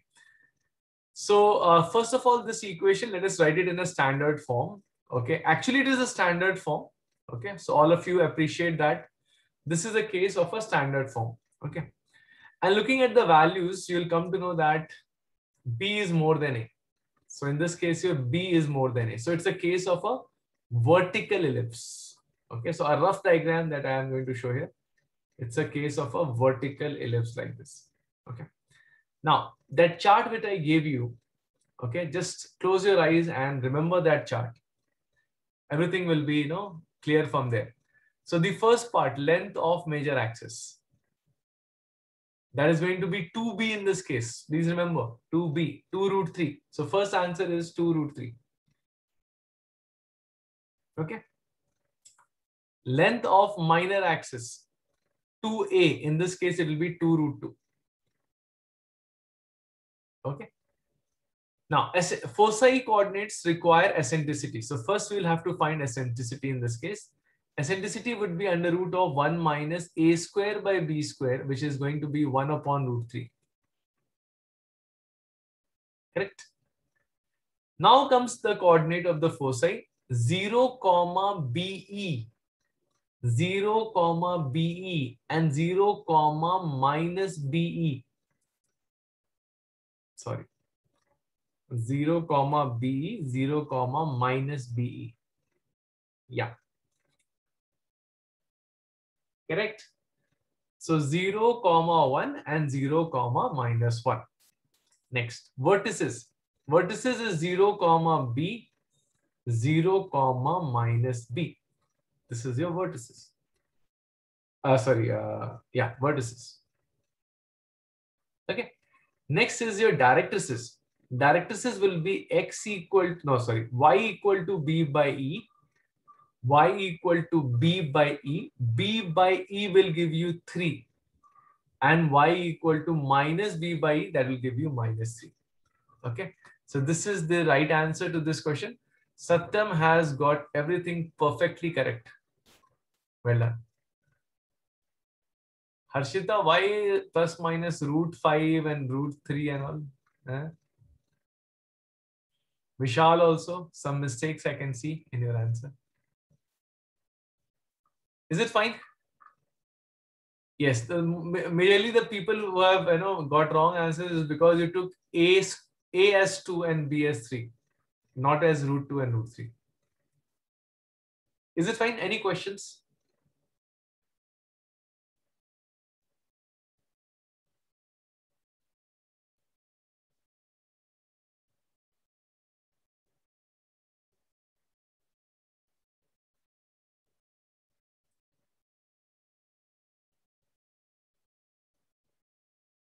Okay, let's take some basic geometry related question. If the distance between the directrices is thrice the distance between the foci, find the eccentricity. Very simple question, should not take you more than one minute. The distance between the directrices is twice the distance between the foci. Find the eccentricity.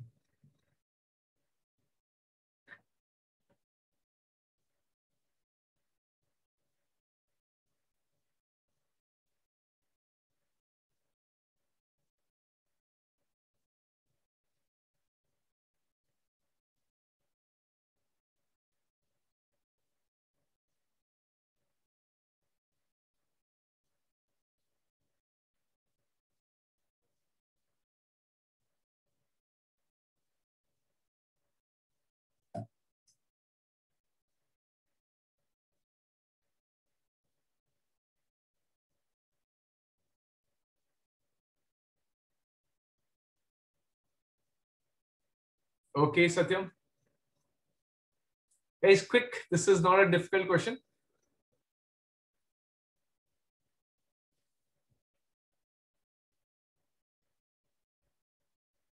Okay, Vishal. Oh, why? Three people, three different answers. How come? Okay, what is the distance between the directrices? 2 A by E, right? This is twice the distance between the foci. That is 2A. Okay. 2A, 2A gone. So you end up getting 1 is equal to 3e square. So e is 1 by root 3. Why so many different different answers I'm getting? Huh? Check, check, check. Okay. The next thing that we are going to talk about is the shifted forms of ellipses. Okay. Also called as the generalized form. Please don't confuse this with general form. General form is something which is ax square plus by square plus 2hxy plus 2gx plus 2fy plus c equal to 0, which we are not going to discuss at least for our school level. Of course, that is a part and parcel of your preparation. So from your JEE point of view or your competitive level point of view, we are going to talk about that. That is called the general form, not the generalized form. Generalized form is the shifted form of the standard cases. Okay. So let me write down. In this form, your center, your center is going to be shifted. Okay, center is going to be shifted to let's say alpha beta, some point alpha beta. But the major and the minor axes, major slash minor axes will still remain parallel to the coordinate axes.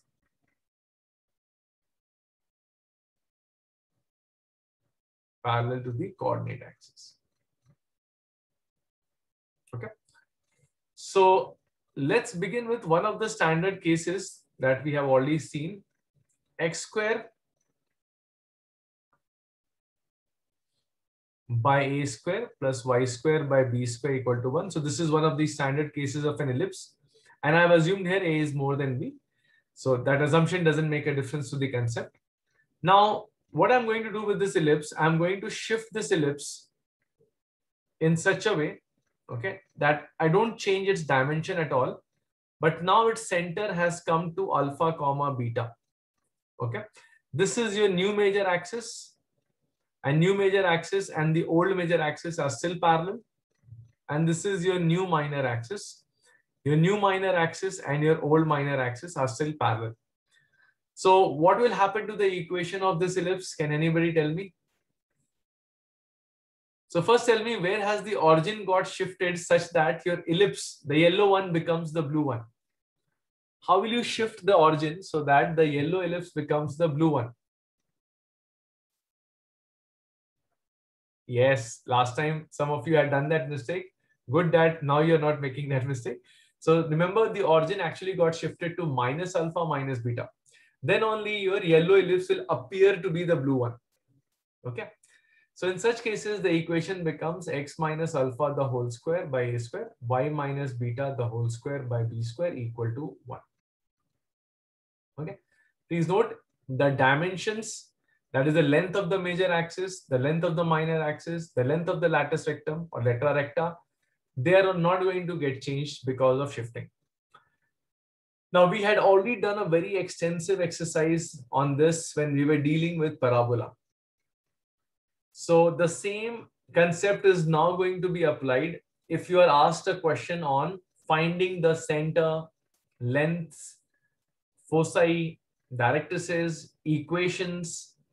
So role change mechanism, that is what we had discussed in our parabola. That role change method is what is again going to be applicable over here. So this doesn't require a separate discussion. So we will directly jump to a question Okay, let's take a shifted version of a standard case, right? Where a standard case has been shifted. And let's write down the critical points and equations for the same. oh, was it you, Arshita? I don't remember. Okay, so should we go to a question now? All of you are ready? So all concepts that you have learned, all the methods that you have learned in a parabola would be applied to this case as well. Okay, let's do a question. Find number one, center, vertices, eccentricity, foci, equation of directrices, length of latus rectum,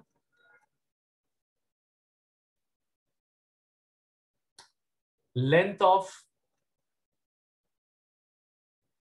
length of in fact length and equation of major axis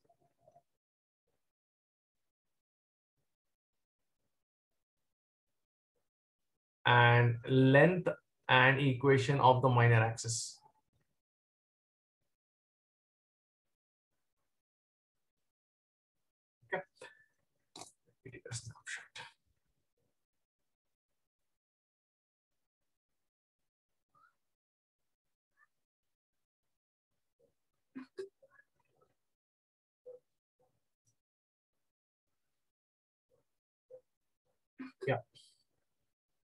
for for x plus 2 the whole square by 4 plus y minus 3 the whole square by 9 equal to 1.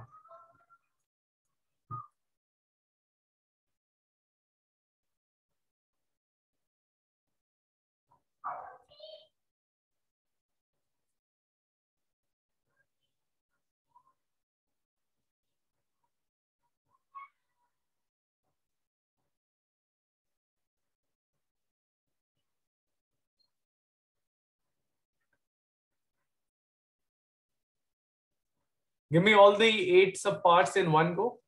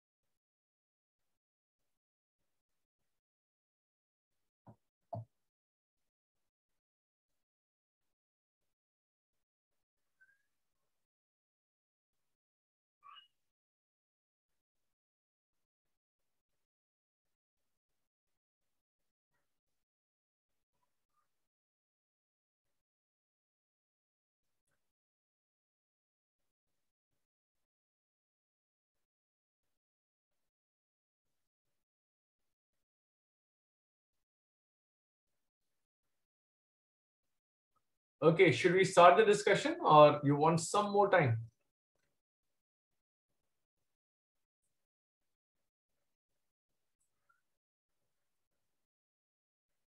Almost done. Okay.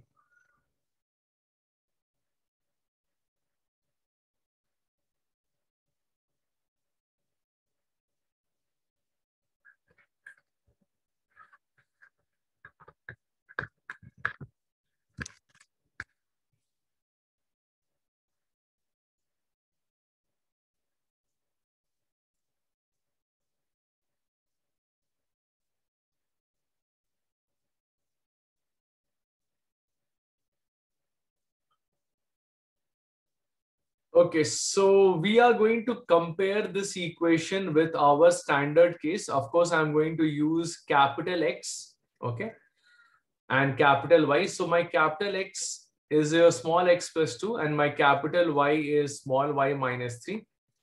A is 2, B is 3. Okay.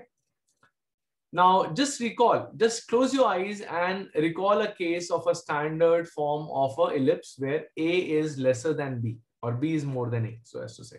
So it's a case of a vertical ellipse, right? So in your mind, vertical ellipse uh, chart should be, you know, ready. Now, ask yourself for a vertical ellipse, standard vertical ellipse, where was the center? Zero, zero, right? So instead of zero, zero, just do one more extra you know, labor here that put X capital X as zero and capital Y as zero. Now just do a role change. So your X will become negative two, Y will become three. So negative two comma three will become your center. Correct? Any questions? Next, second part vertices. Vertices, again, if you close your eyes, you'll realize that vertices used to be at 0, comma b, 0, comma minus b. So I will write it like this, 0, comma b and 0, comma minus b. Okay, I'll just do a rule change. 0, b. This also 0, minus b. Okay. So this will give you x as minus 2, y as 6. And this gives you minus 2 comma 0. Am I right? Those who are doing it, please also match your answer.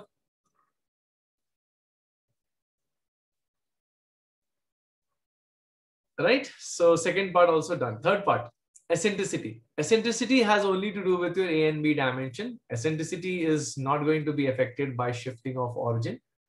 So uh, as per the dimensions, it will be under root of 1 minus a square by b square.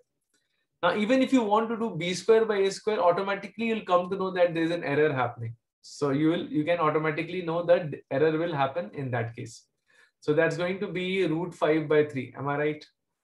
Eccentricity is root 5 by 3.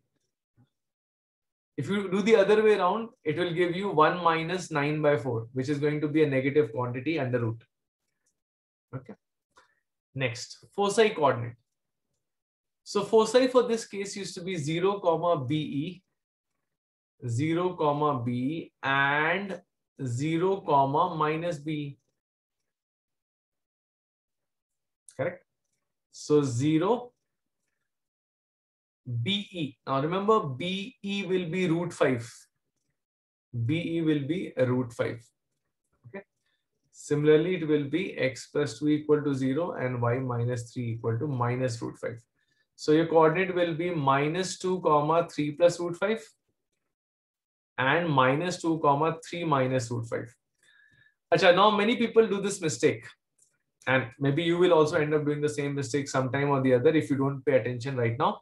Many people think that, okay, after getting this coordinate, you just have to change the sign of the y coordinate. Please note that 3 plus root 5 and 3 minus root 5, they are not negatives of each other. Okay, so some people have this habit. Okay, once one uh, foci they will get, and in the second foci, they will change the sign of, you know, ordinate in this case. But that doesn't work like that in case of shifted forms. That works in case of a standard form, but not in a shifted form. So please don't do that mistake. Next, uh, fifth one, equation of the directrices equation of the directrices for this case used to be y equal to b by e and y equal to minus b by e, isn't it?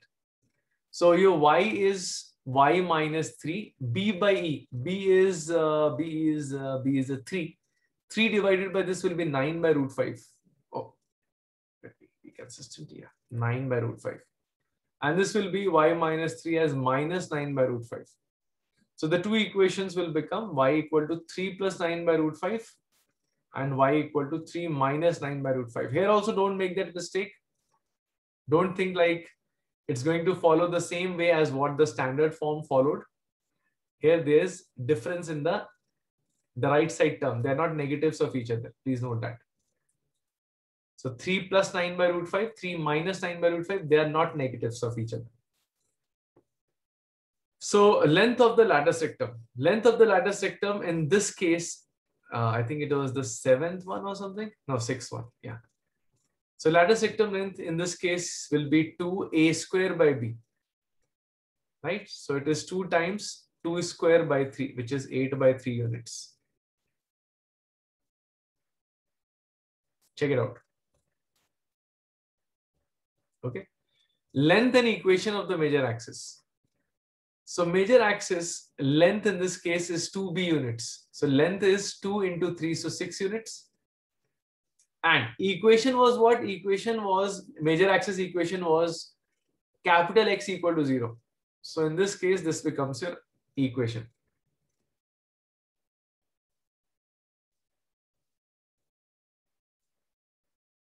Okay.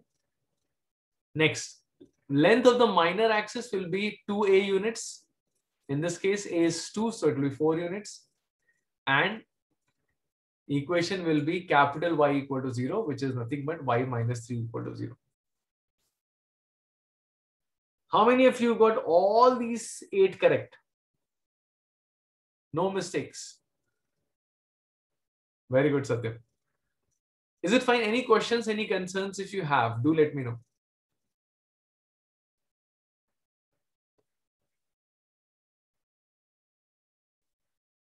You got six correct. Two wrong. Where you went wrong, Achindya.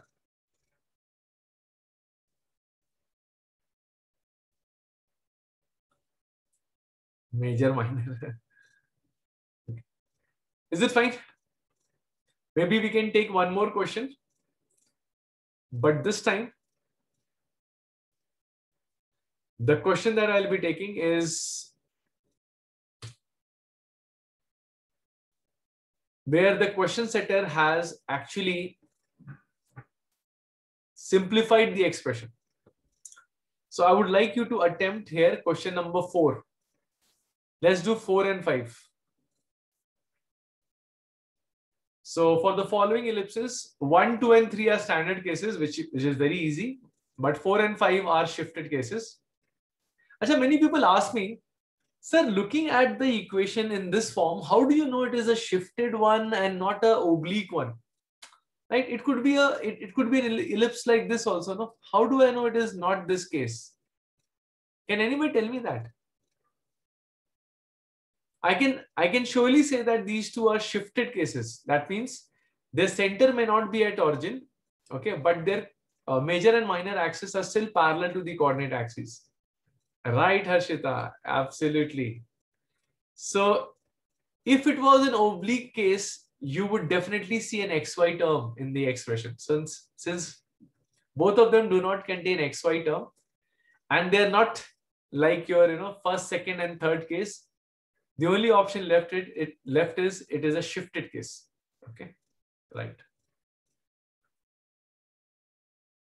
So for the fourth one, please do the needful.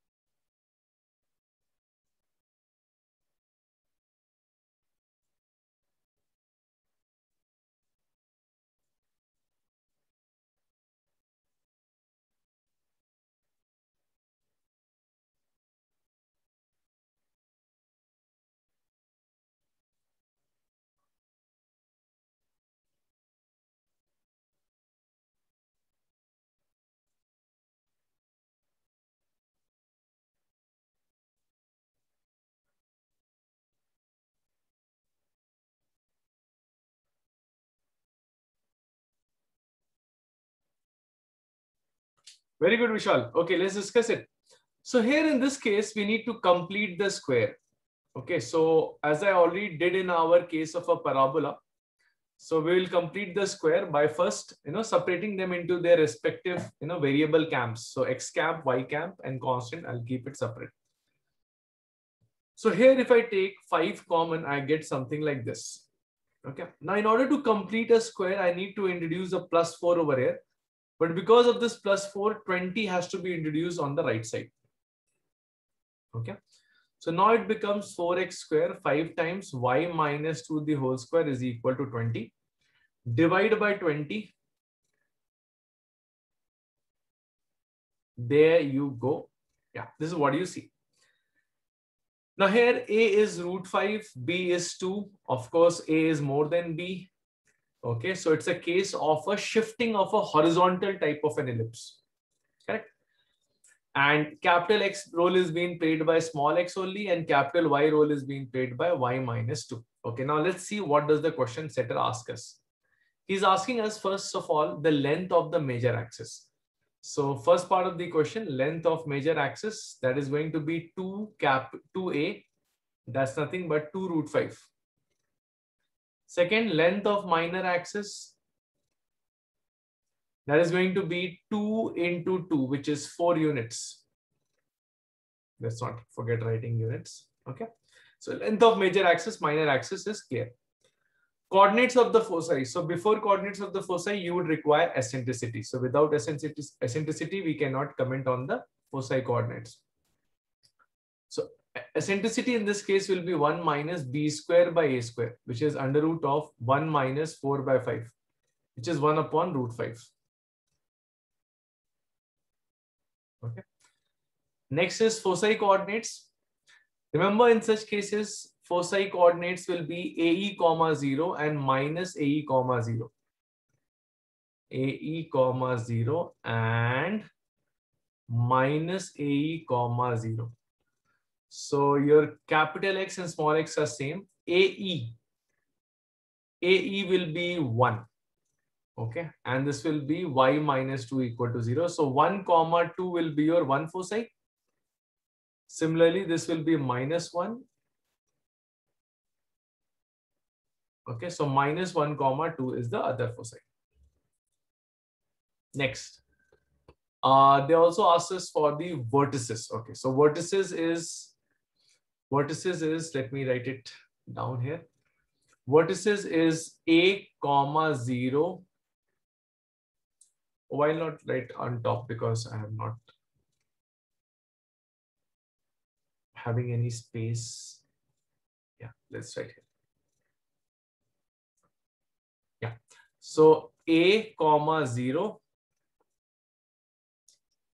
a comma 0 and minus a comma 0.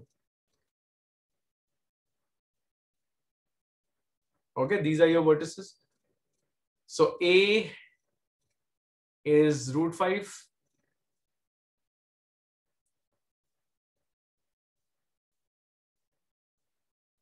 So we'll get root, uh, root 5 comma 2 and minus root 5 comma 2. These are your vertices. I hope all of you have got this right. Any questions, any concerns? Please immediately highlight.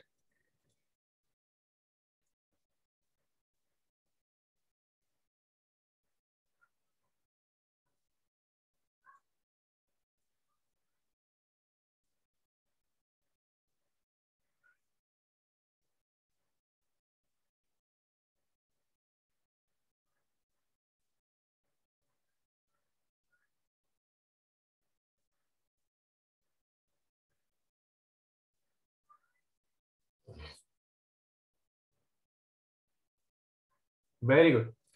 So let's take one last one before we go for a break.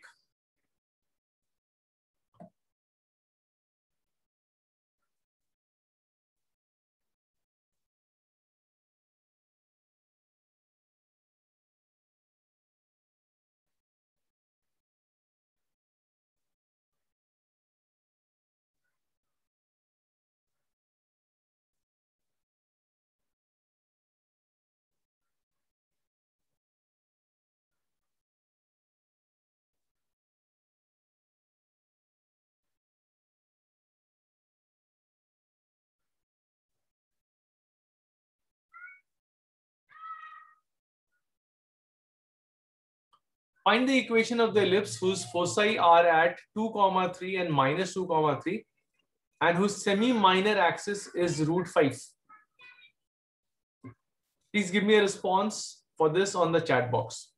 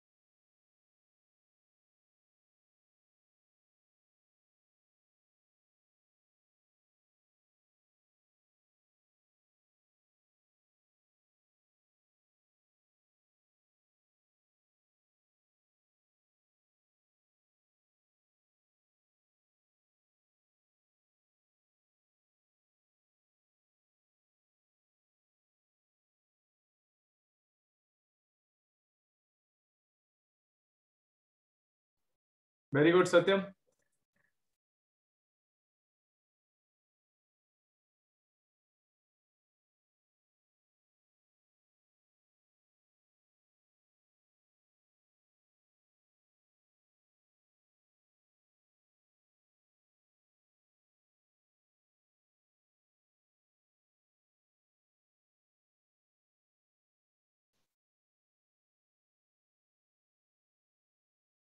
Okay, sh shall we discuss it out?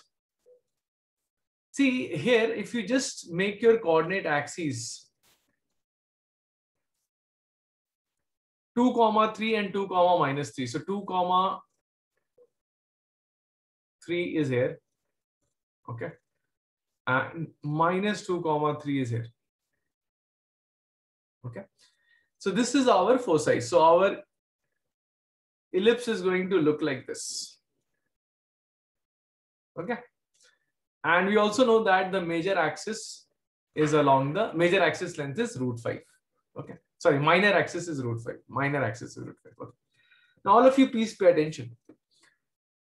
So this is a case where clearly a horizontal ellipse had been shifted, right? So I can say this root 5 that, that has been given to you is actually your B value. Semi-minor axis is going to be your B and 2 AE will be the distance between the two foci. So let's say I call it as S1, S2. So S1, S2 will be 2AE. And that is clearly 4 units. Correct? So you have an information about AE value and B value. So from these two information, I need to get a lot of things. First of all, I need to get my A value. How will I get? Very simple. Square it. Correct? And in place of e square, write 1 minus b square by a square. That is equal to 5, which means a square minus b square is given to you as 4. Which means a square minus 5 is 4, which means a square is 9. So a square is 9, b is root 5. Now, I would clearly require the center of the ellipse as well. Center is, as you all know, is going to be the midpoint of S1, S2. So center will be nothing but minus 2 plus 2 by 0 and 3 plus 3 by, sorry, minus 2 plus 2 by 2 and 3 plus 3 by 2. Sorry for writing 0. Actually, I calculated 0 in my mind and I wrote that. Yeah. So it's at 0 comma 3.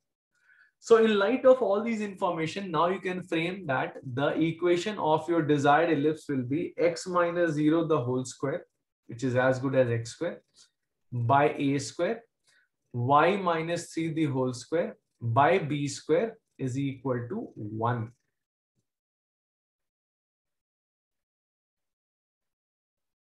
Absolutely right, Vishal.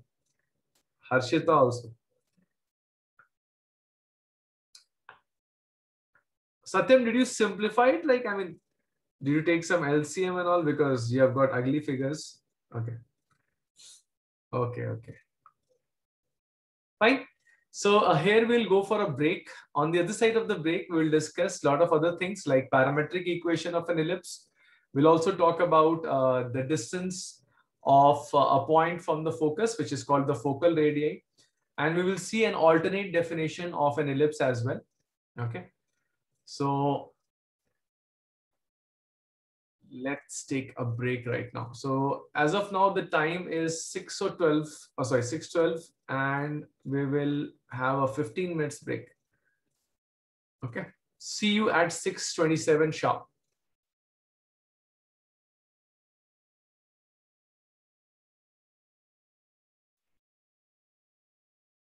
So next thing that we are going to talk about ellipse is the parametric form of the ellipse. This is going to be especially very useful when we start taking the engineering content of this chapter. So parametric form is going to be used in solving a lot of questions. In fact, locus-based questions are you know, based on parametric form. We'll be learning later on the equation of tangents, normals, etc. So we prefer using the parametric forms of those because that really makes our life very simple. So we have already seen the parametric form for a circle. Okay. So even for the cases of standard ellipses, there are certain preferred parametric forms. Uh, so we'll be introducing those parametric forms to you. So let me begin with our standard case. x square by a square plus y square by b square equal to 1. Now, a could be more than b, b could be more than a, doesn't matter. Uh, this that doesn't influence your parametric form. So this is actually the Cartesian form. We all know that. So this form is called the Cartesian form of the equation. So if you write the same equation like this, x is equal to a cos theta and y equal to b sine theta. Okay, or vice versa, x equal to a sine theta, y equal to b cos theta. So as you all know that there is no fixed parametric form. Okay, so parametric forms, I uh, know everybody can write you know, their own parametric forms also. Okay, but this is the most preferred one. Where theta here is basically a parameter which is also called as the eccentric angle of that point. It is also known as, later on we will talk about it in more detail. This is also known as the eccentric angle of the point. Now, what is this point? So basically, when what is the use of a parametric form? Parametric form is used to signify a point on that particular curve, isn't it? So let us say this is our standard ellipse. Okay. This is our coordinate axis. And if I take a point like this, okay, and I call it as A cos theta, comma B sine theta. That means I'm using these two as my X and Y. Then please note, theta here is called the eccentric angle of that point. That means every point on this particular ellipse will have different, different eccentric angles. For example, if you take this point, for this point, the eccentric angle will be pi by 2, sorry, uh, 0, correct? Because I will give you a comma 0, right? This point eccentric angle will be pi by 2. So here your theta value is going to be 0. Here your theta angle is going to be, eccentric angle is going to be pi by 2 and so on. Okay. So theta is called the eccentric angle. Please note this down. Theta is called the eccentric angle. Now, look at this figure and tell me, look at this figure and tell me which angle is theta here? Use A, B, P, C, etc. to tell me which angle is theta here actually. If I talk about this diagram, it is fine. Okay, we have understood this is called the eccentric angle of that point. But what actually is represented by theta? Which angle here is theta? Can anybody tell me that?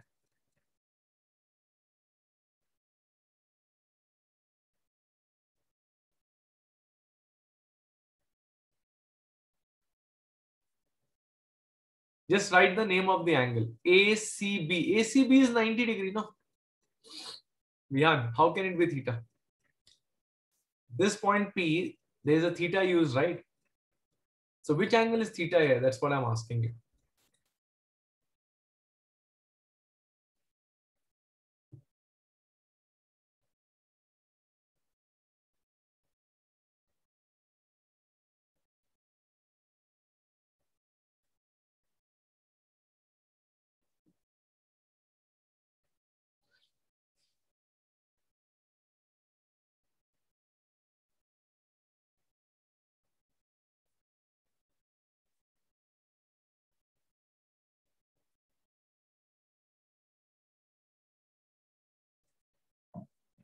Okay, now here, I mean, anybody wants to take a take a guesswork also, please do do so. You know, I'm just asking your response. Need not be correct. Don't worry.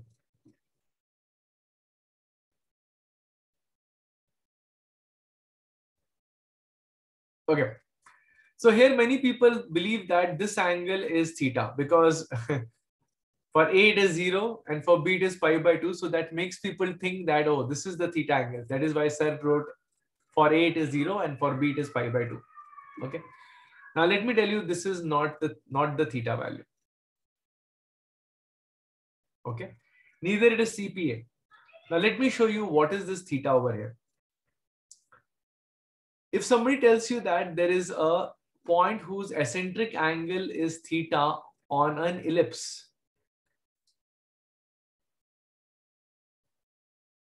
Let me draw it.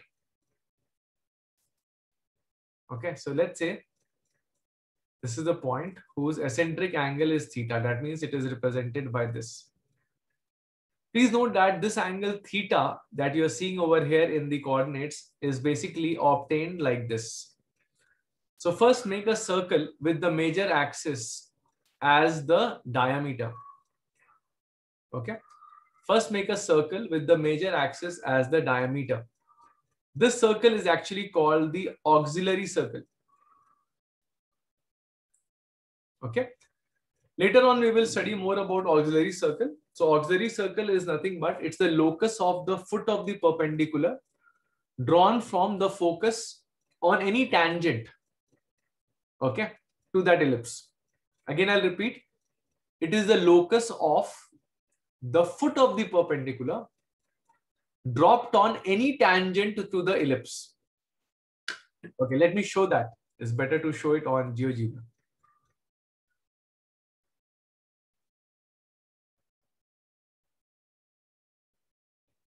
Oh, sorry.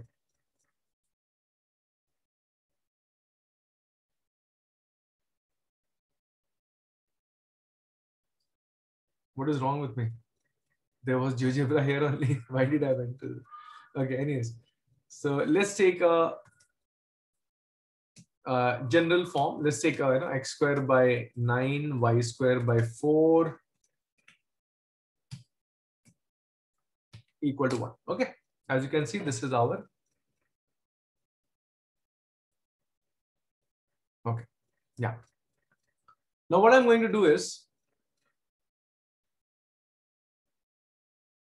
I'm going to draw a tangent at any orbit point. Let's say I take an orbit point here, okay? And I'm going to sketch a tangent there. Okay, you see a tangent being created? Now, let's figure out where is the focus for this.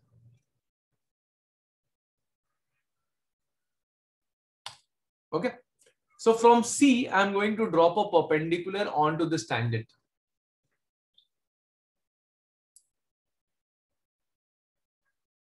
Okay.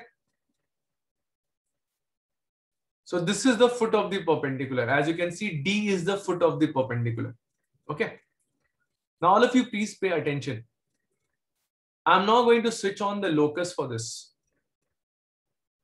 So I'll be I'll be moving my point D and just see what is the path. Sorry, I'm, I'll be moving a point A and just see the path traced by D.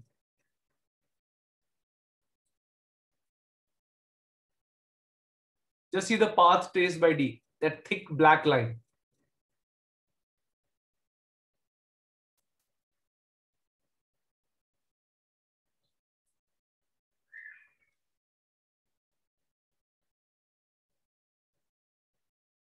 Do you see that? So that basically forms, yo, it's going very fast in this zone. Yeah. Yeah. So it's basically forms a circle whose uh, diameter is the length of the major axis. This circle is called the auxiliary circle. So what is an auxiliary circle? Auxiliary circle is nothing but it's the locus of the foot of the perpendicular dropped from the focus onto any tangent.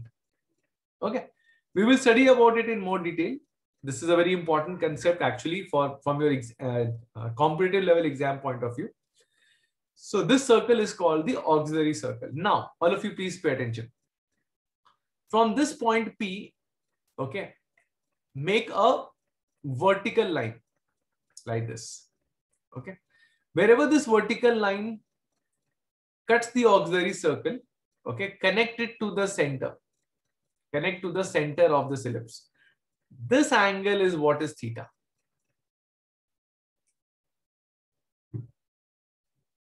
Is it clear? And not this angle, which many people wrongly believe it. This is not theta. Please note that this is wrong. Okay. So if you realize for this point, your theta will anyways be zero. Okay. And for this point, your theta will anyways be pi, pi by two. So many people get confused because of these two values which I have written. Okay. That makes them believe that C, uh, PCA is theta, which is not the case. Okay. So theta is this angle. And I can justify it also. See, as you've drawn a circle whose radius is A, this length is A. Correct? So if this length is A, this length is going to be A cos theta. And that's the reason for your x coordinate over here, A cos theta. Correct? Now for the y coordinate of this point, for the y coordinate of this point, you just need to use your equation of the ellipse. x square by a square, y square by b square equal to 1. Put x as a cos theta. So this will become cos square theta. So y square by b square will become sine square theta. so y value will be plus minus b sine theta, but I'm just taking the one which is given on the on the uh, uh, figure over here. Okay.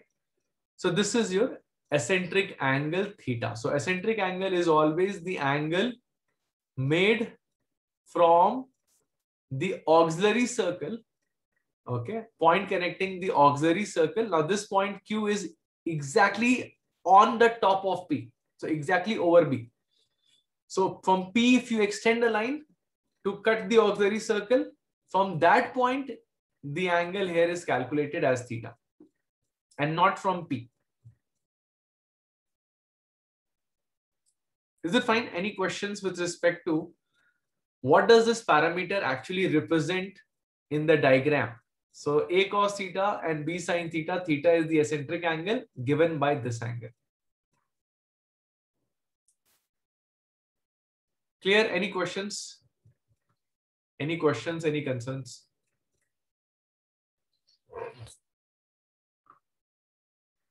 Could you scroll up? Yeah, this is the part, up part.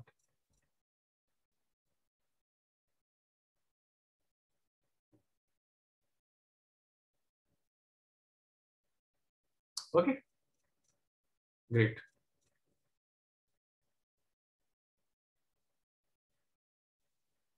Let me check if I have questions from parametric form.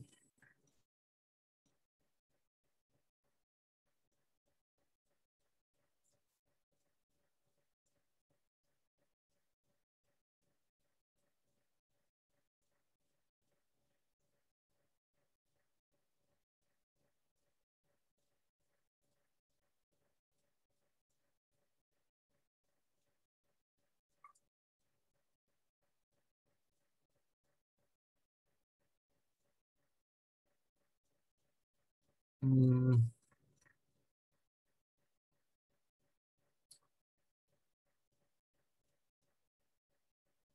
Unfortunately, uh, questions are not there, but okay, let me just, you know, small question. Suggest a parametric form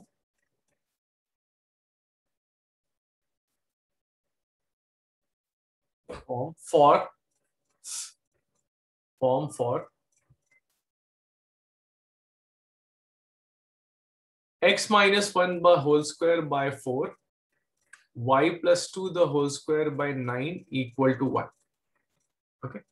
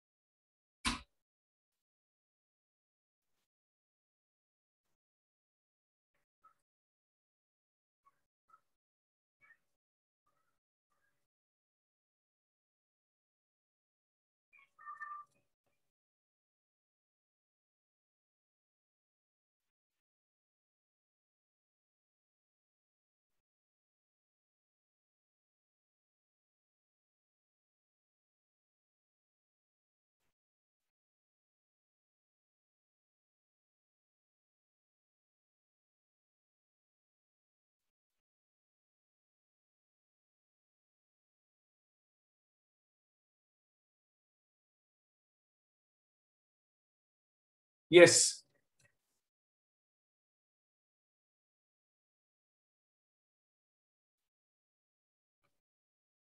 Okay very good. So here see it's just like saying x square by a square y square by b square equal to 1 correct?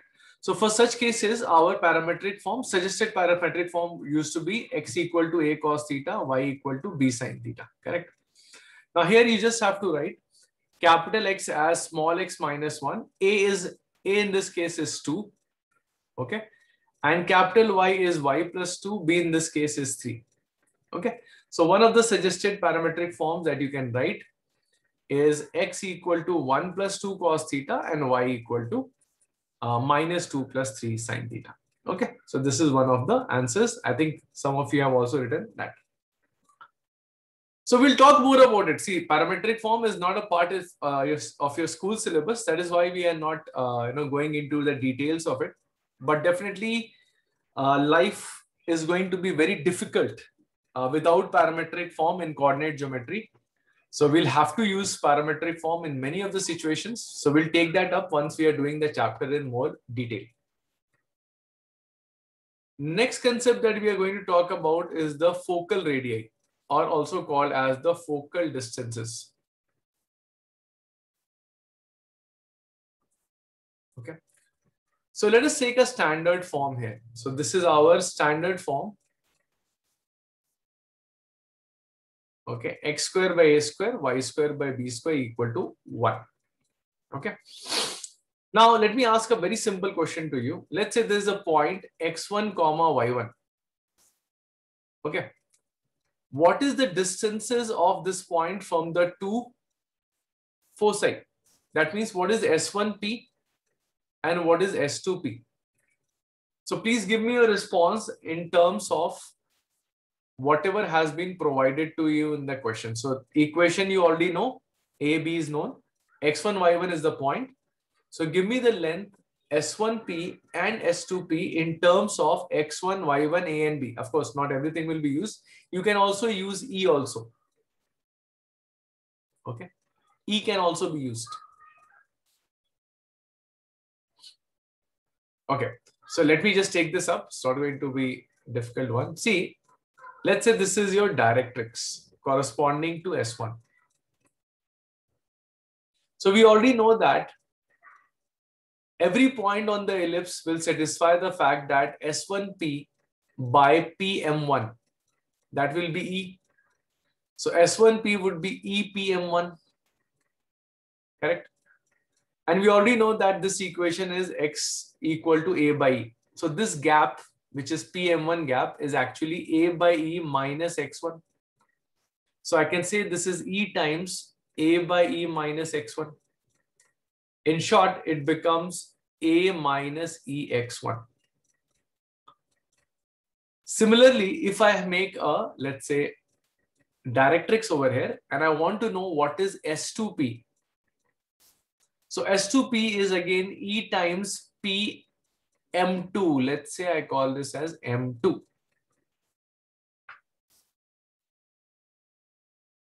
Correct?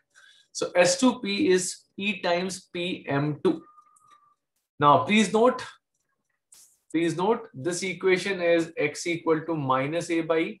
So this gap will be X1 and A by E. So add X1 to A by E.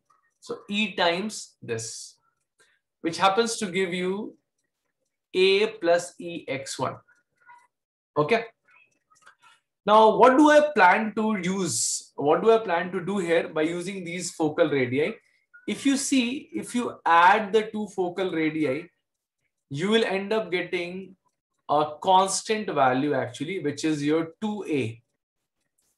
Okay. Now this brings me to the second locus definition of an ellipse. Remember when we started our chapter, I told you there are two locus definitions one of them is, uh, which I already told you, that is the ratio of its distance from fixed point to a fixed line is always a constant whose value is between 0 to 1. That is one locus definition. Now the second locus definition. Please write it down everybody. Locus definition 2. So ellipse is also defined as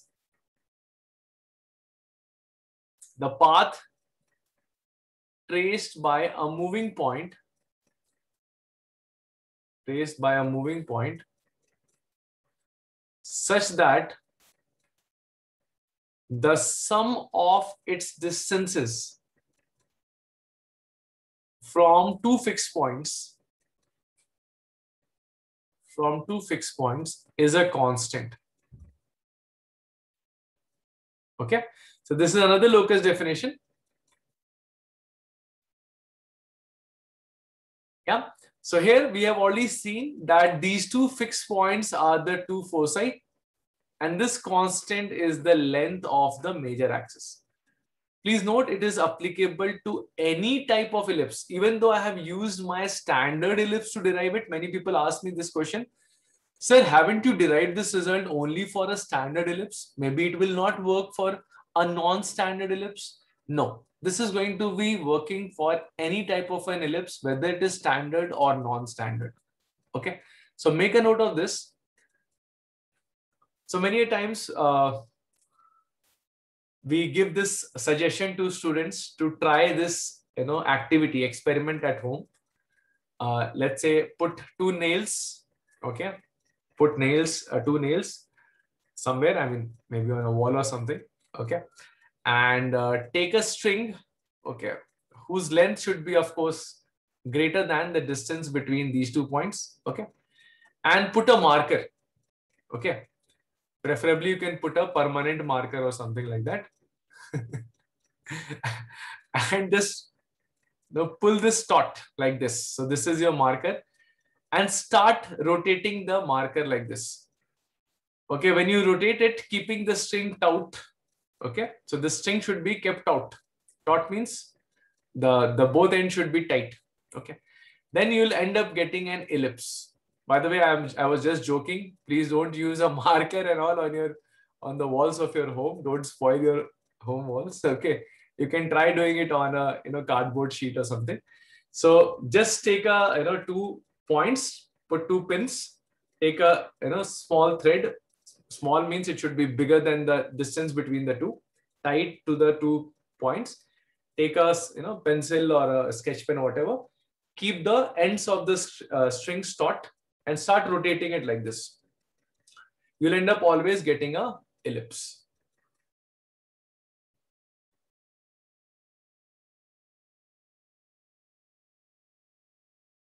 Is this fine? Any questions? Any questions? Any concerns?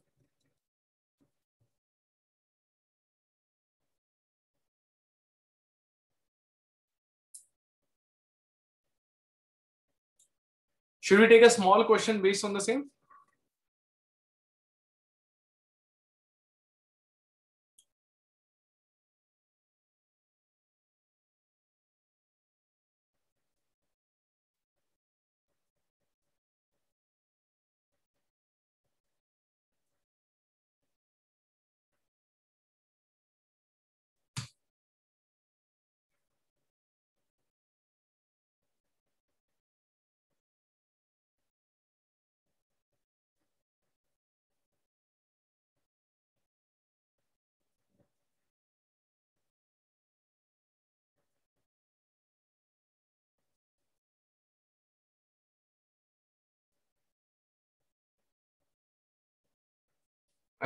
Think this is not a right question. Sorry, this is not a this is not the question to be solved.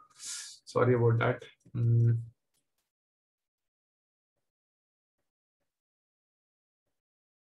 Hmm.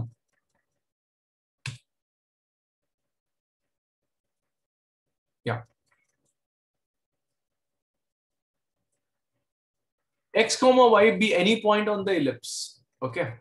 And this is your standard form, 16x square plus 25y square is equal to 400.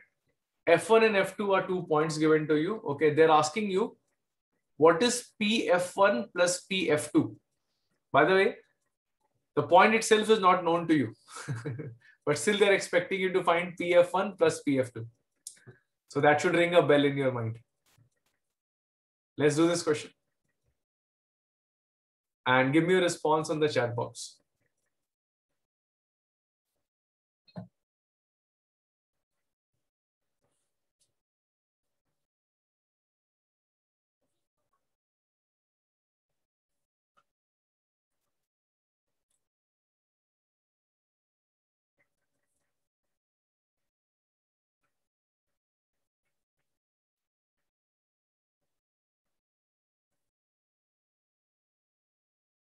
Okay, Harshita.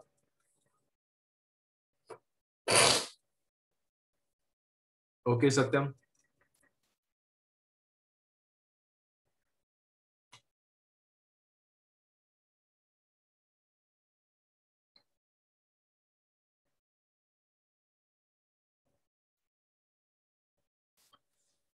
Satya has a different answer altogether. Okay, Satya.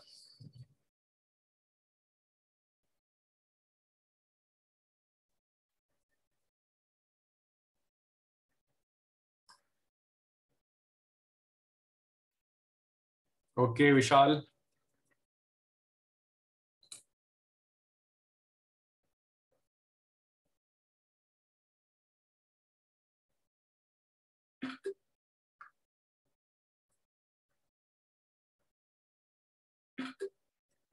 Okay, let's discuss this out. Now, if you look at this uh, ellipse given to you, okay, let's write it as a standard form. So for that, you need to divide by 400 on both the sides. Okay, so when you divide by 400, you get x square by 25, y square by 16 is equal to 1. So clearly A is 5, B is 4. Okay, A is more than B. That means your eccentricity would be under root of 1 minus B square by A square, which happens to be 3 by 5. Okay. Now let us try finding the foci. Foci in such cases is at AE comma 0 and minus AE comma 0. Right. So as per our given data, it actually comes out to be 3 comma 0 and minus 3 comma 0. Now, it's, it's just not a coincidence. Uh, we had already speculated that these two should be the foci. Okay. Not because they use F1 and F2, but since the point was not known to me and they are still expecting me to find PF1 plus PF2, that means it must have been inspired by the theory which we have discussed. So once you are you know, sure that it, it is the two foci, then SF1 plus SF2 will be 2 times A and 2 times A will be 10 units. So no matter whatever is the point, it doesn't actually matter. Okay, that x comma y could be any point on that ellipse. This distance is going to be fixed 10 units straight away.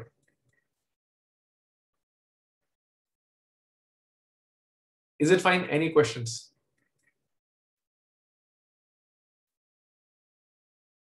Let's take another question.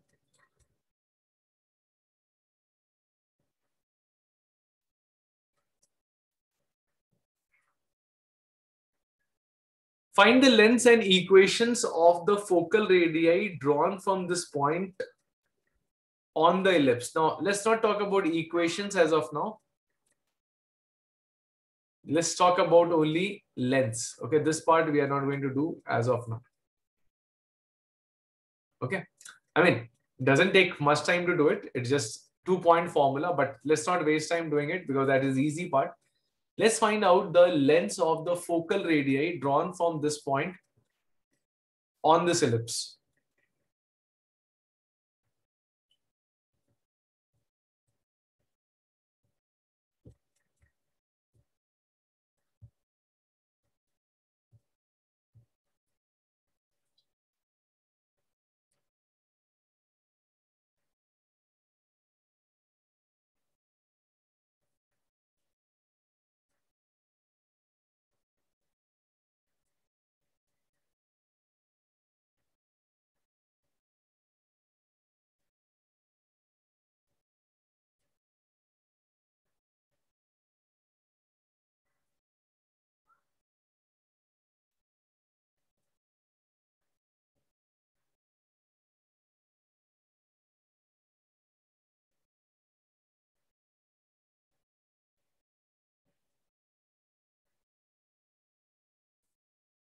Okay, Harshita.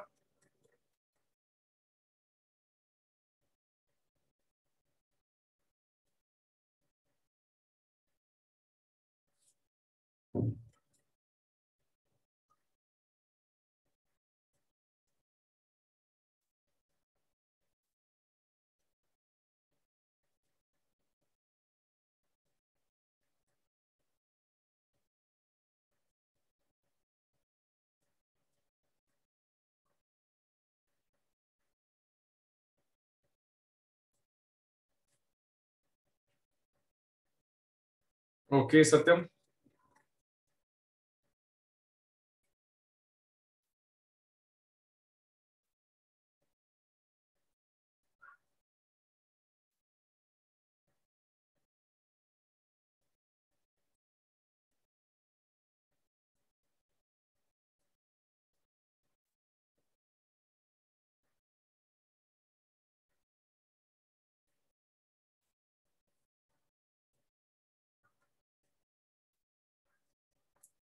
Anybody else?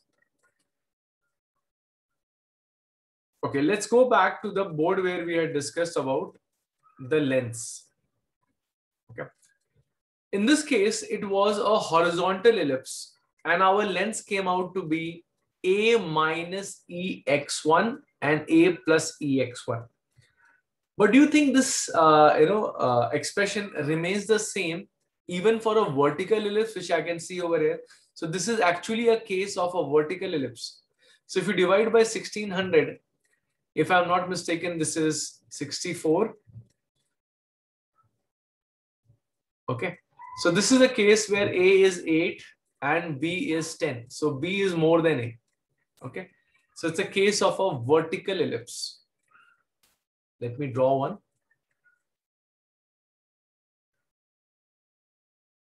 Okay. Let's say I take any point x1, y1. And let's say these are the two foci, S1, S2. So what is this distance S1P? And let's say this is our directrix, one of the directrices.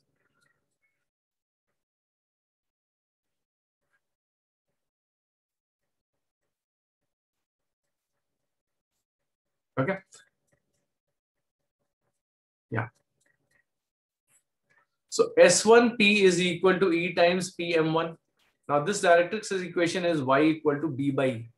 Correct? So it's E times now B by E minus Y1.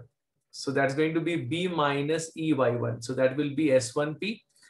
And similarly, S2P, S2P will be B plus EY1. Okay. So what is the distance of or what is the focal radii? So the answer is going to be 10. Achha, first of all, E, we have to find E out. Okay. So E value in this case is under root of 1 minus A square by B square. Okay. Or you can write it as under root of 1 minus 4 square by 5 square, which happens to be 3 by 5. So E is 3 by 5. So it's going to be 10 minus 3 by 5 into into y1. y1 value here is 5. Okay, so that answer will be 7. And this answer will be 13. So 7 and 13 are your answers for this question. Well done. I think the first one to get this right was Harshita. Okay. Any questions, any concerns? So please do not blindly remember your formula. That's what many people, you know, do Okay, so that will prove very costly to you. So the last thing that we are going to discuss here is the intersection of a line with an ellipse. So that will be our last discussion agenda. By the way, that point is also you know beyond your school, but we'll still do it because uh, we anyways have to cover it later on. Okay, so we are you know simply you know allotting one class each as of now but we have many more classes required to finish off our conic section. So the next part that we are going to touch upon, uh, should I go to the next slide? Are you all done with this? Any, anybody wants to copy from here?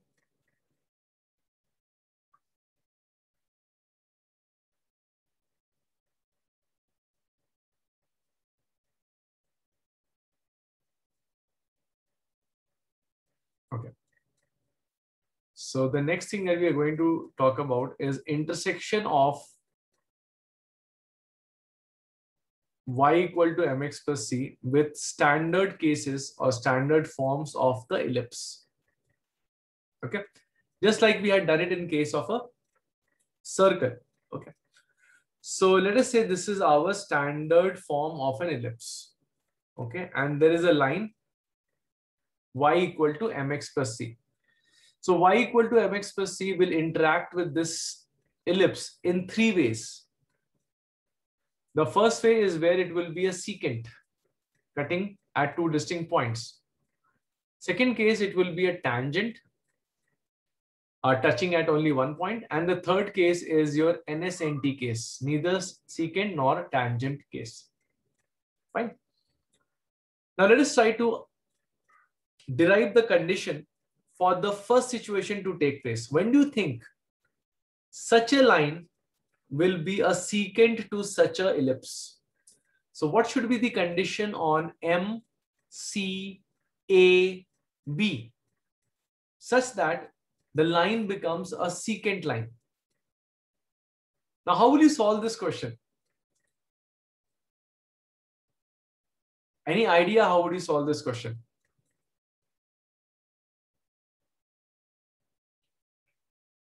Anybody, any recommendation from your side? Okay, so this is the strategy which we can adopt to solve this question. In circle, you were saved actually. Because in a circle, there was a concept of radius. Okay. So in, in case of an ellipse, what are you going to use?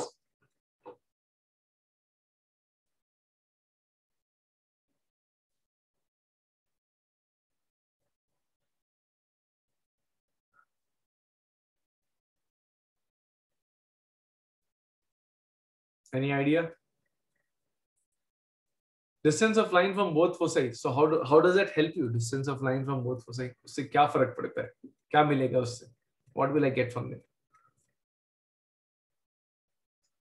Give me a complete statement. I will use this and this and I'll get my answer like that. Right, right now you are giving elements separately, separately. Distance is less than major axis. Okay, so if, if the ellipse is like, if the line is like this, this distance is lesser than major axis. It is not a secant. So how does that logic work?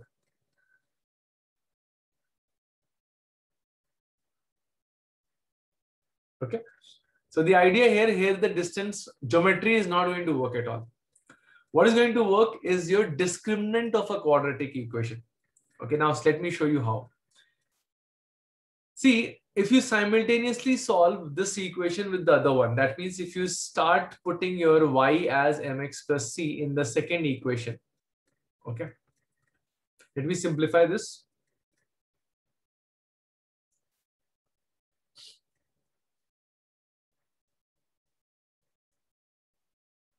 Okay, you'll see here, this is a quadratic in x, correct?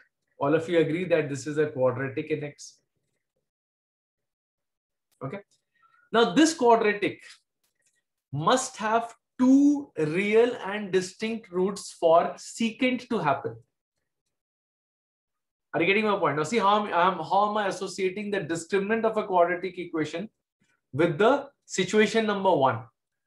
So situation number one means there should be, see, these two points will have some x coordinates, right? Which will be different from each other. In other words, the two x values which correspond to the x coordinates of a and b, they are actually roots of this quadratic. And those two uh, you know, points should have a distinct x coordinates. Correct? And they must be real. That means they must exist. In other words, this quadratic equation must give me real and distinct real and distinct roots for the situation number one to take place. Means the discriminant here should be greater than zero. Is it understood by all of you? Any doubt why I am claiming that the discriminant should be greater than zero in this case?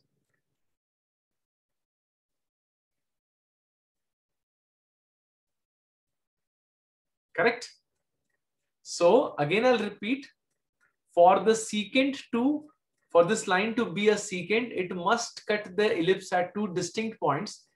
So the two distinct points must have two distinct x coordinates, which happens to be the root of this quadratic.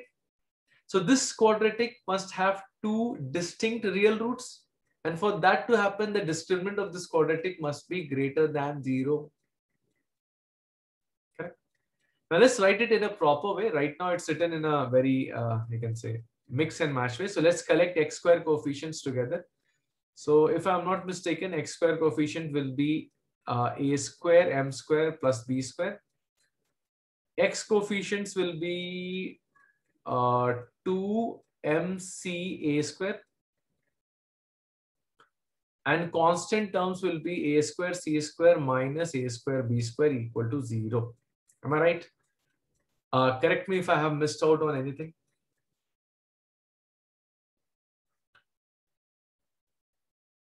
Okay, now discriminant is what? b square. b square minus 4ac minus 4ac.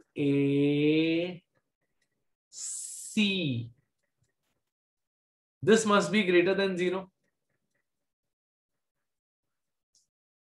Correct?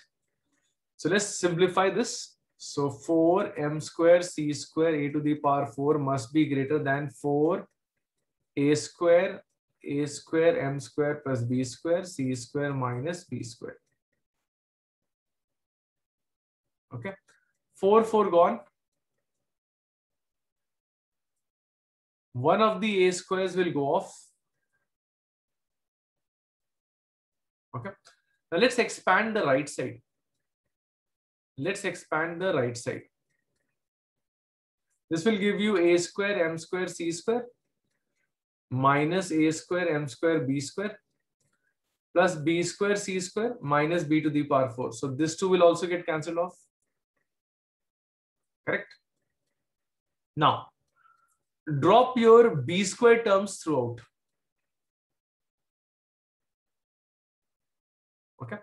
So from here I can write c square is less than a square m square plus b square. So please note this down.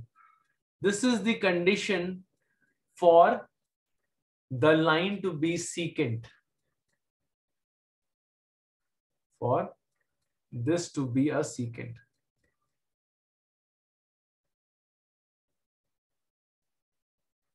Okay, please make a note of this.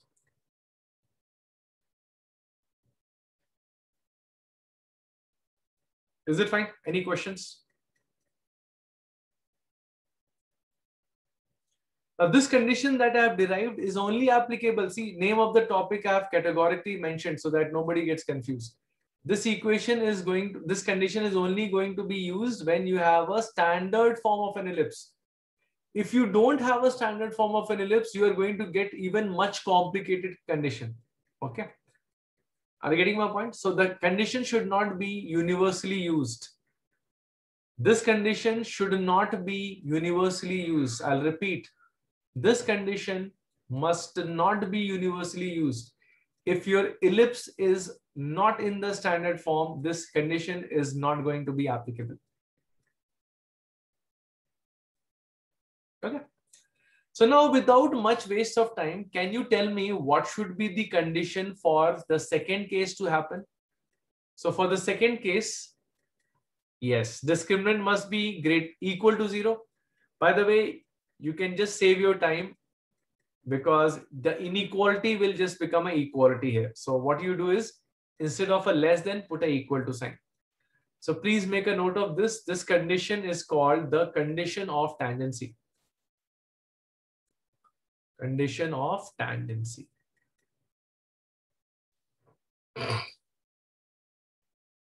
Okay.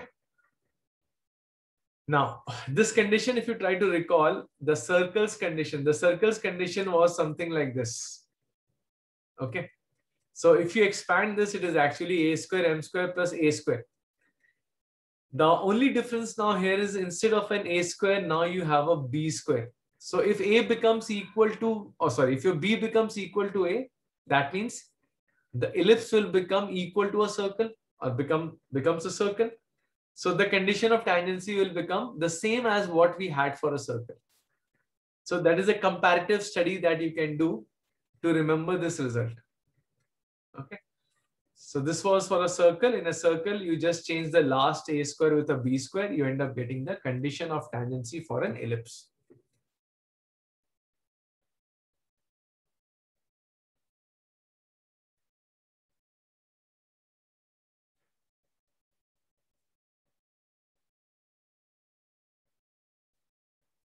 Done.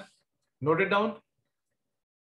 Okay, so last, the third case, which is your NSNT case, your discriminant should be less than zero for the third case.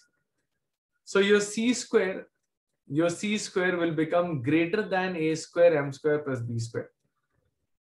Okay, so less than we have already used here. As you can see, we have already used less than. Okay, now we are, we have already used equal to, so only thing we are left is greater than. So you don't have to you know, rework the whole thing again and again. Okay. So this is your condition for NSNT. Condition for neither secant nor tangent.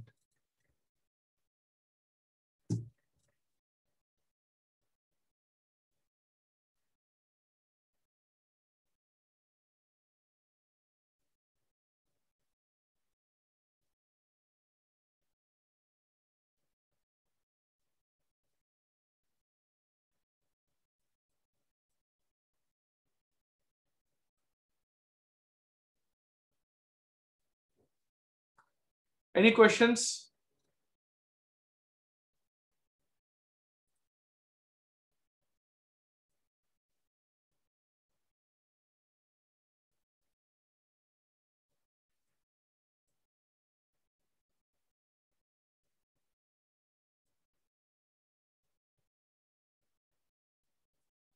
All right, so let's take few uh, problems based on this concept.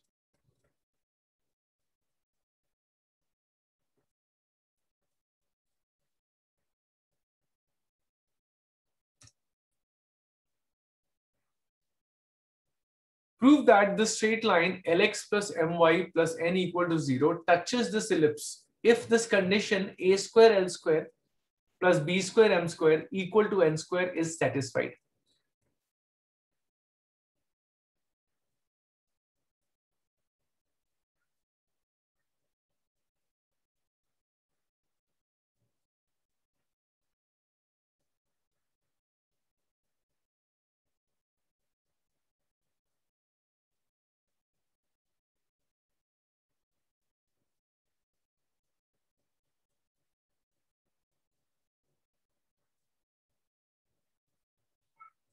Just say done if you're done.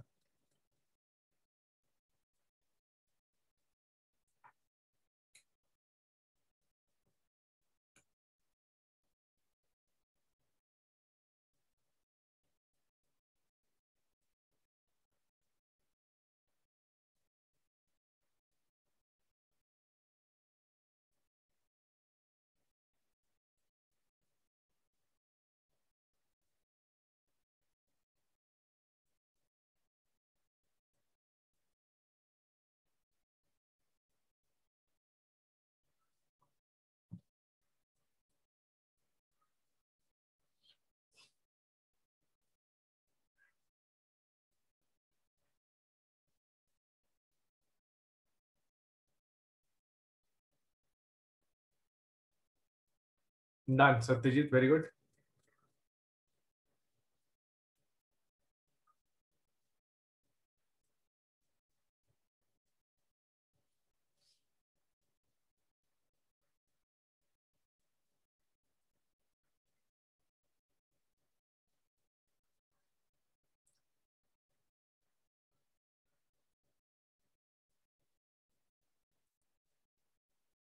This is a problem directly based on the condition of tangency, which we have already derived in the previous page.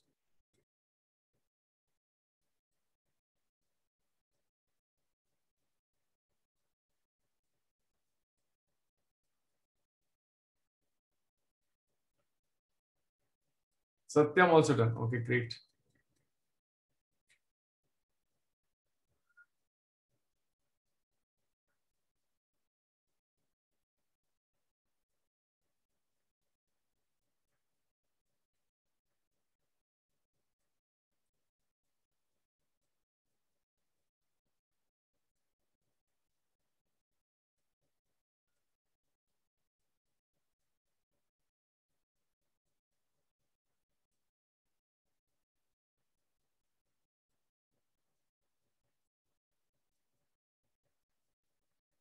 Okay, see here, uh, we have already seen that if this is the line and this is your ellipse, then the condition of tangency,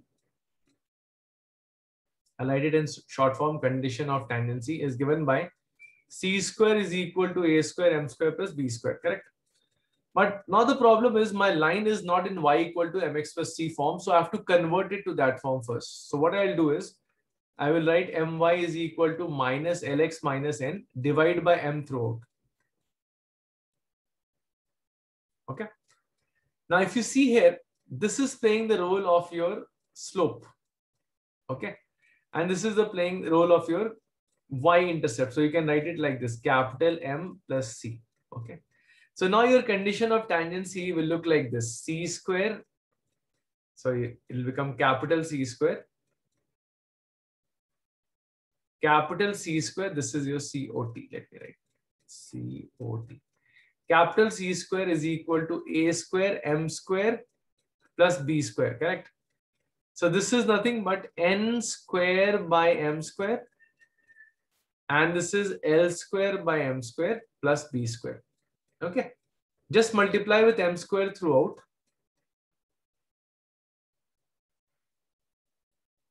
This is what we had to prove, right? A square l square b square m square equal to n square. Yeah, done, proved, hence proved. Is it fine? Any questions?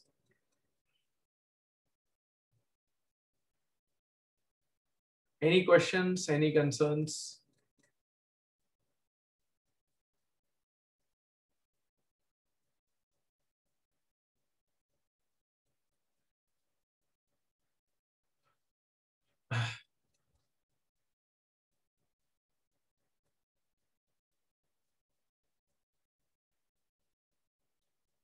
Let's take this question. For what value of lambda does this line y equal to x plus lambda touches the ellipse 9x square plus 16y square is equal to 144? Again, a super easy, straightforward question.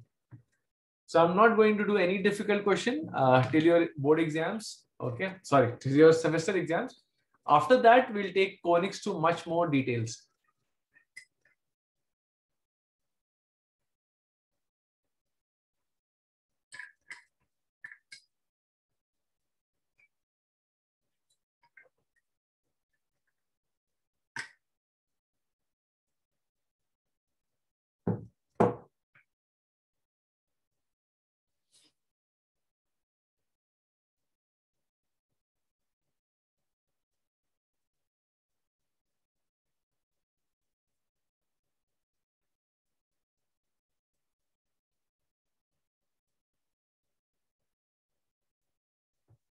Okay, Satyam.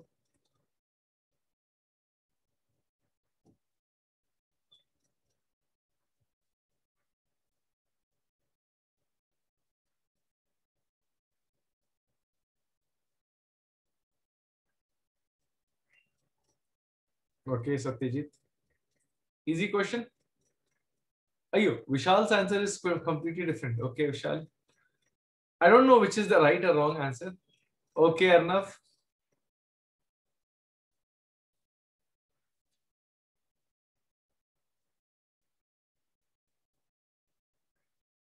Okay, Arshita. Okay. So let's discuss it. So if you see, this is your x square by 16, y square by 9 equal to 1. Correct. And uh, as per the given line, uh, if you see this, your, sorry. If you see your uh, m is 1, okay. Lambda is, uh, c is lambda. Okay, just compare. And a is uh, 4 and b is 3. So as per our condition of tangency, for it to touch, we should have this equation, uh, this we should have this relation satisfied. C square is equal to A square M square plus B square.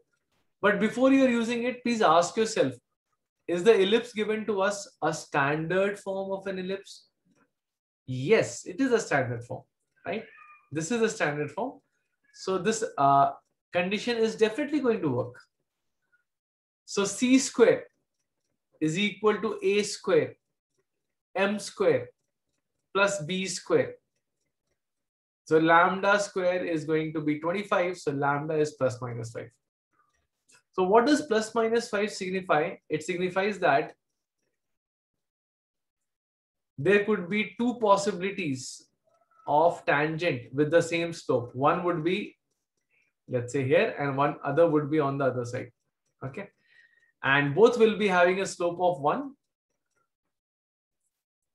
but one will be having a y-intercept of 5 other will be having a minus 5 so that is how two answers are going to come up.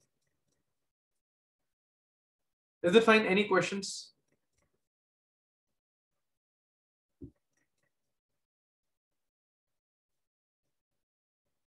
Next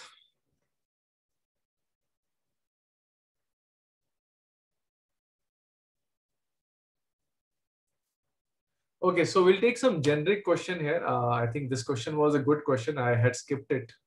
Now I could see it while I was scrolling down. Find the equation of an ellipse whose axes are parallel to the coordinate axis and having its center at 2 comma minus 3. One focus is at 3 comma minus 3 and one vertex is at 4 comma minus 3. So center one focus, one vertex, and the fact that the axes of this ellipse are parallel to the coordinate axis is given to you. Okay. Actually, that was also needless because that you can easily infer from the fact that, okay, I'll not give you the hint. Okay, let's do this problem and give me a response on the chat box.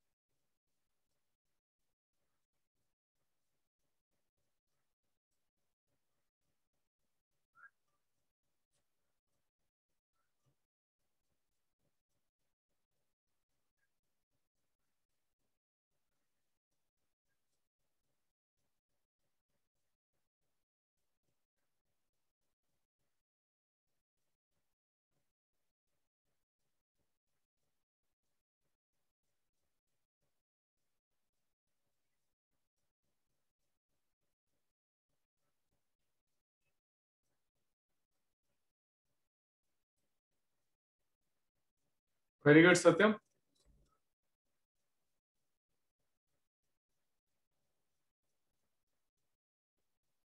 Anybody else?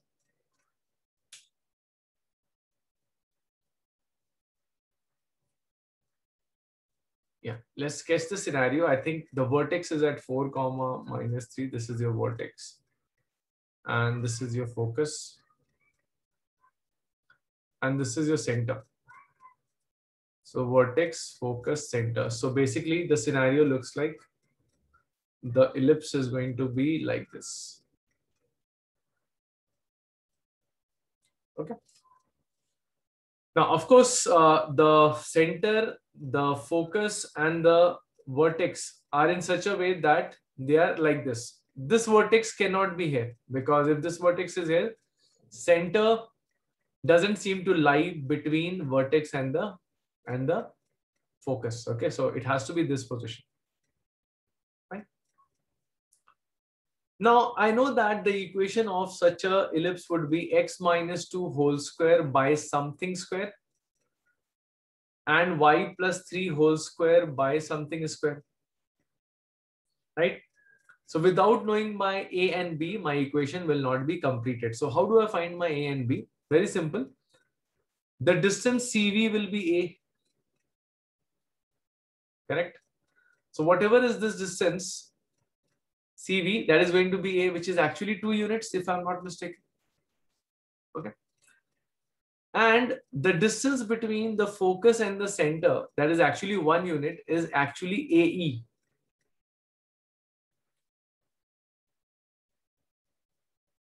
Okay, so E is half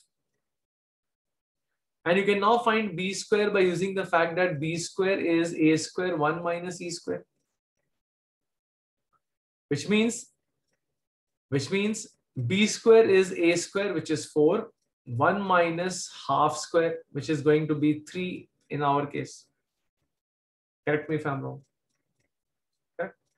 So A is 2 and B is B square is 3. That means the entire equation will now become, I'll rewrite it over here, x minus 2 whole square by A square, which is 4, y plus 3 whole square by B square, which is 3 equal to 1.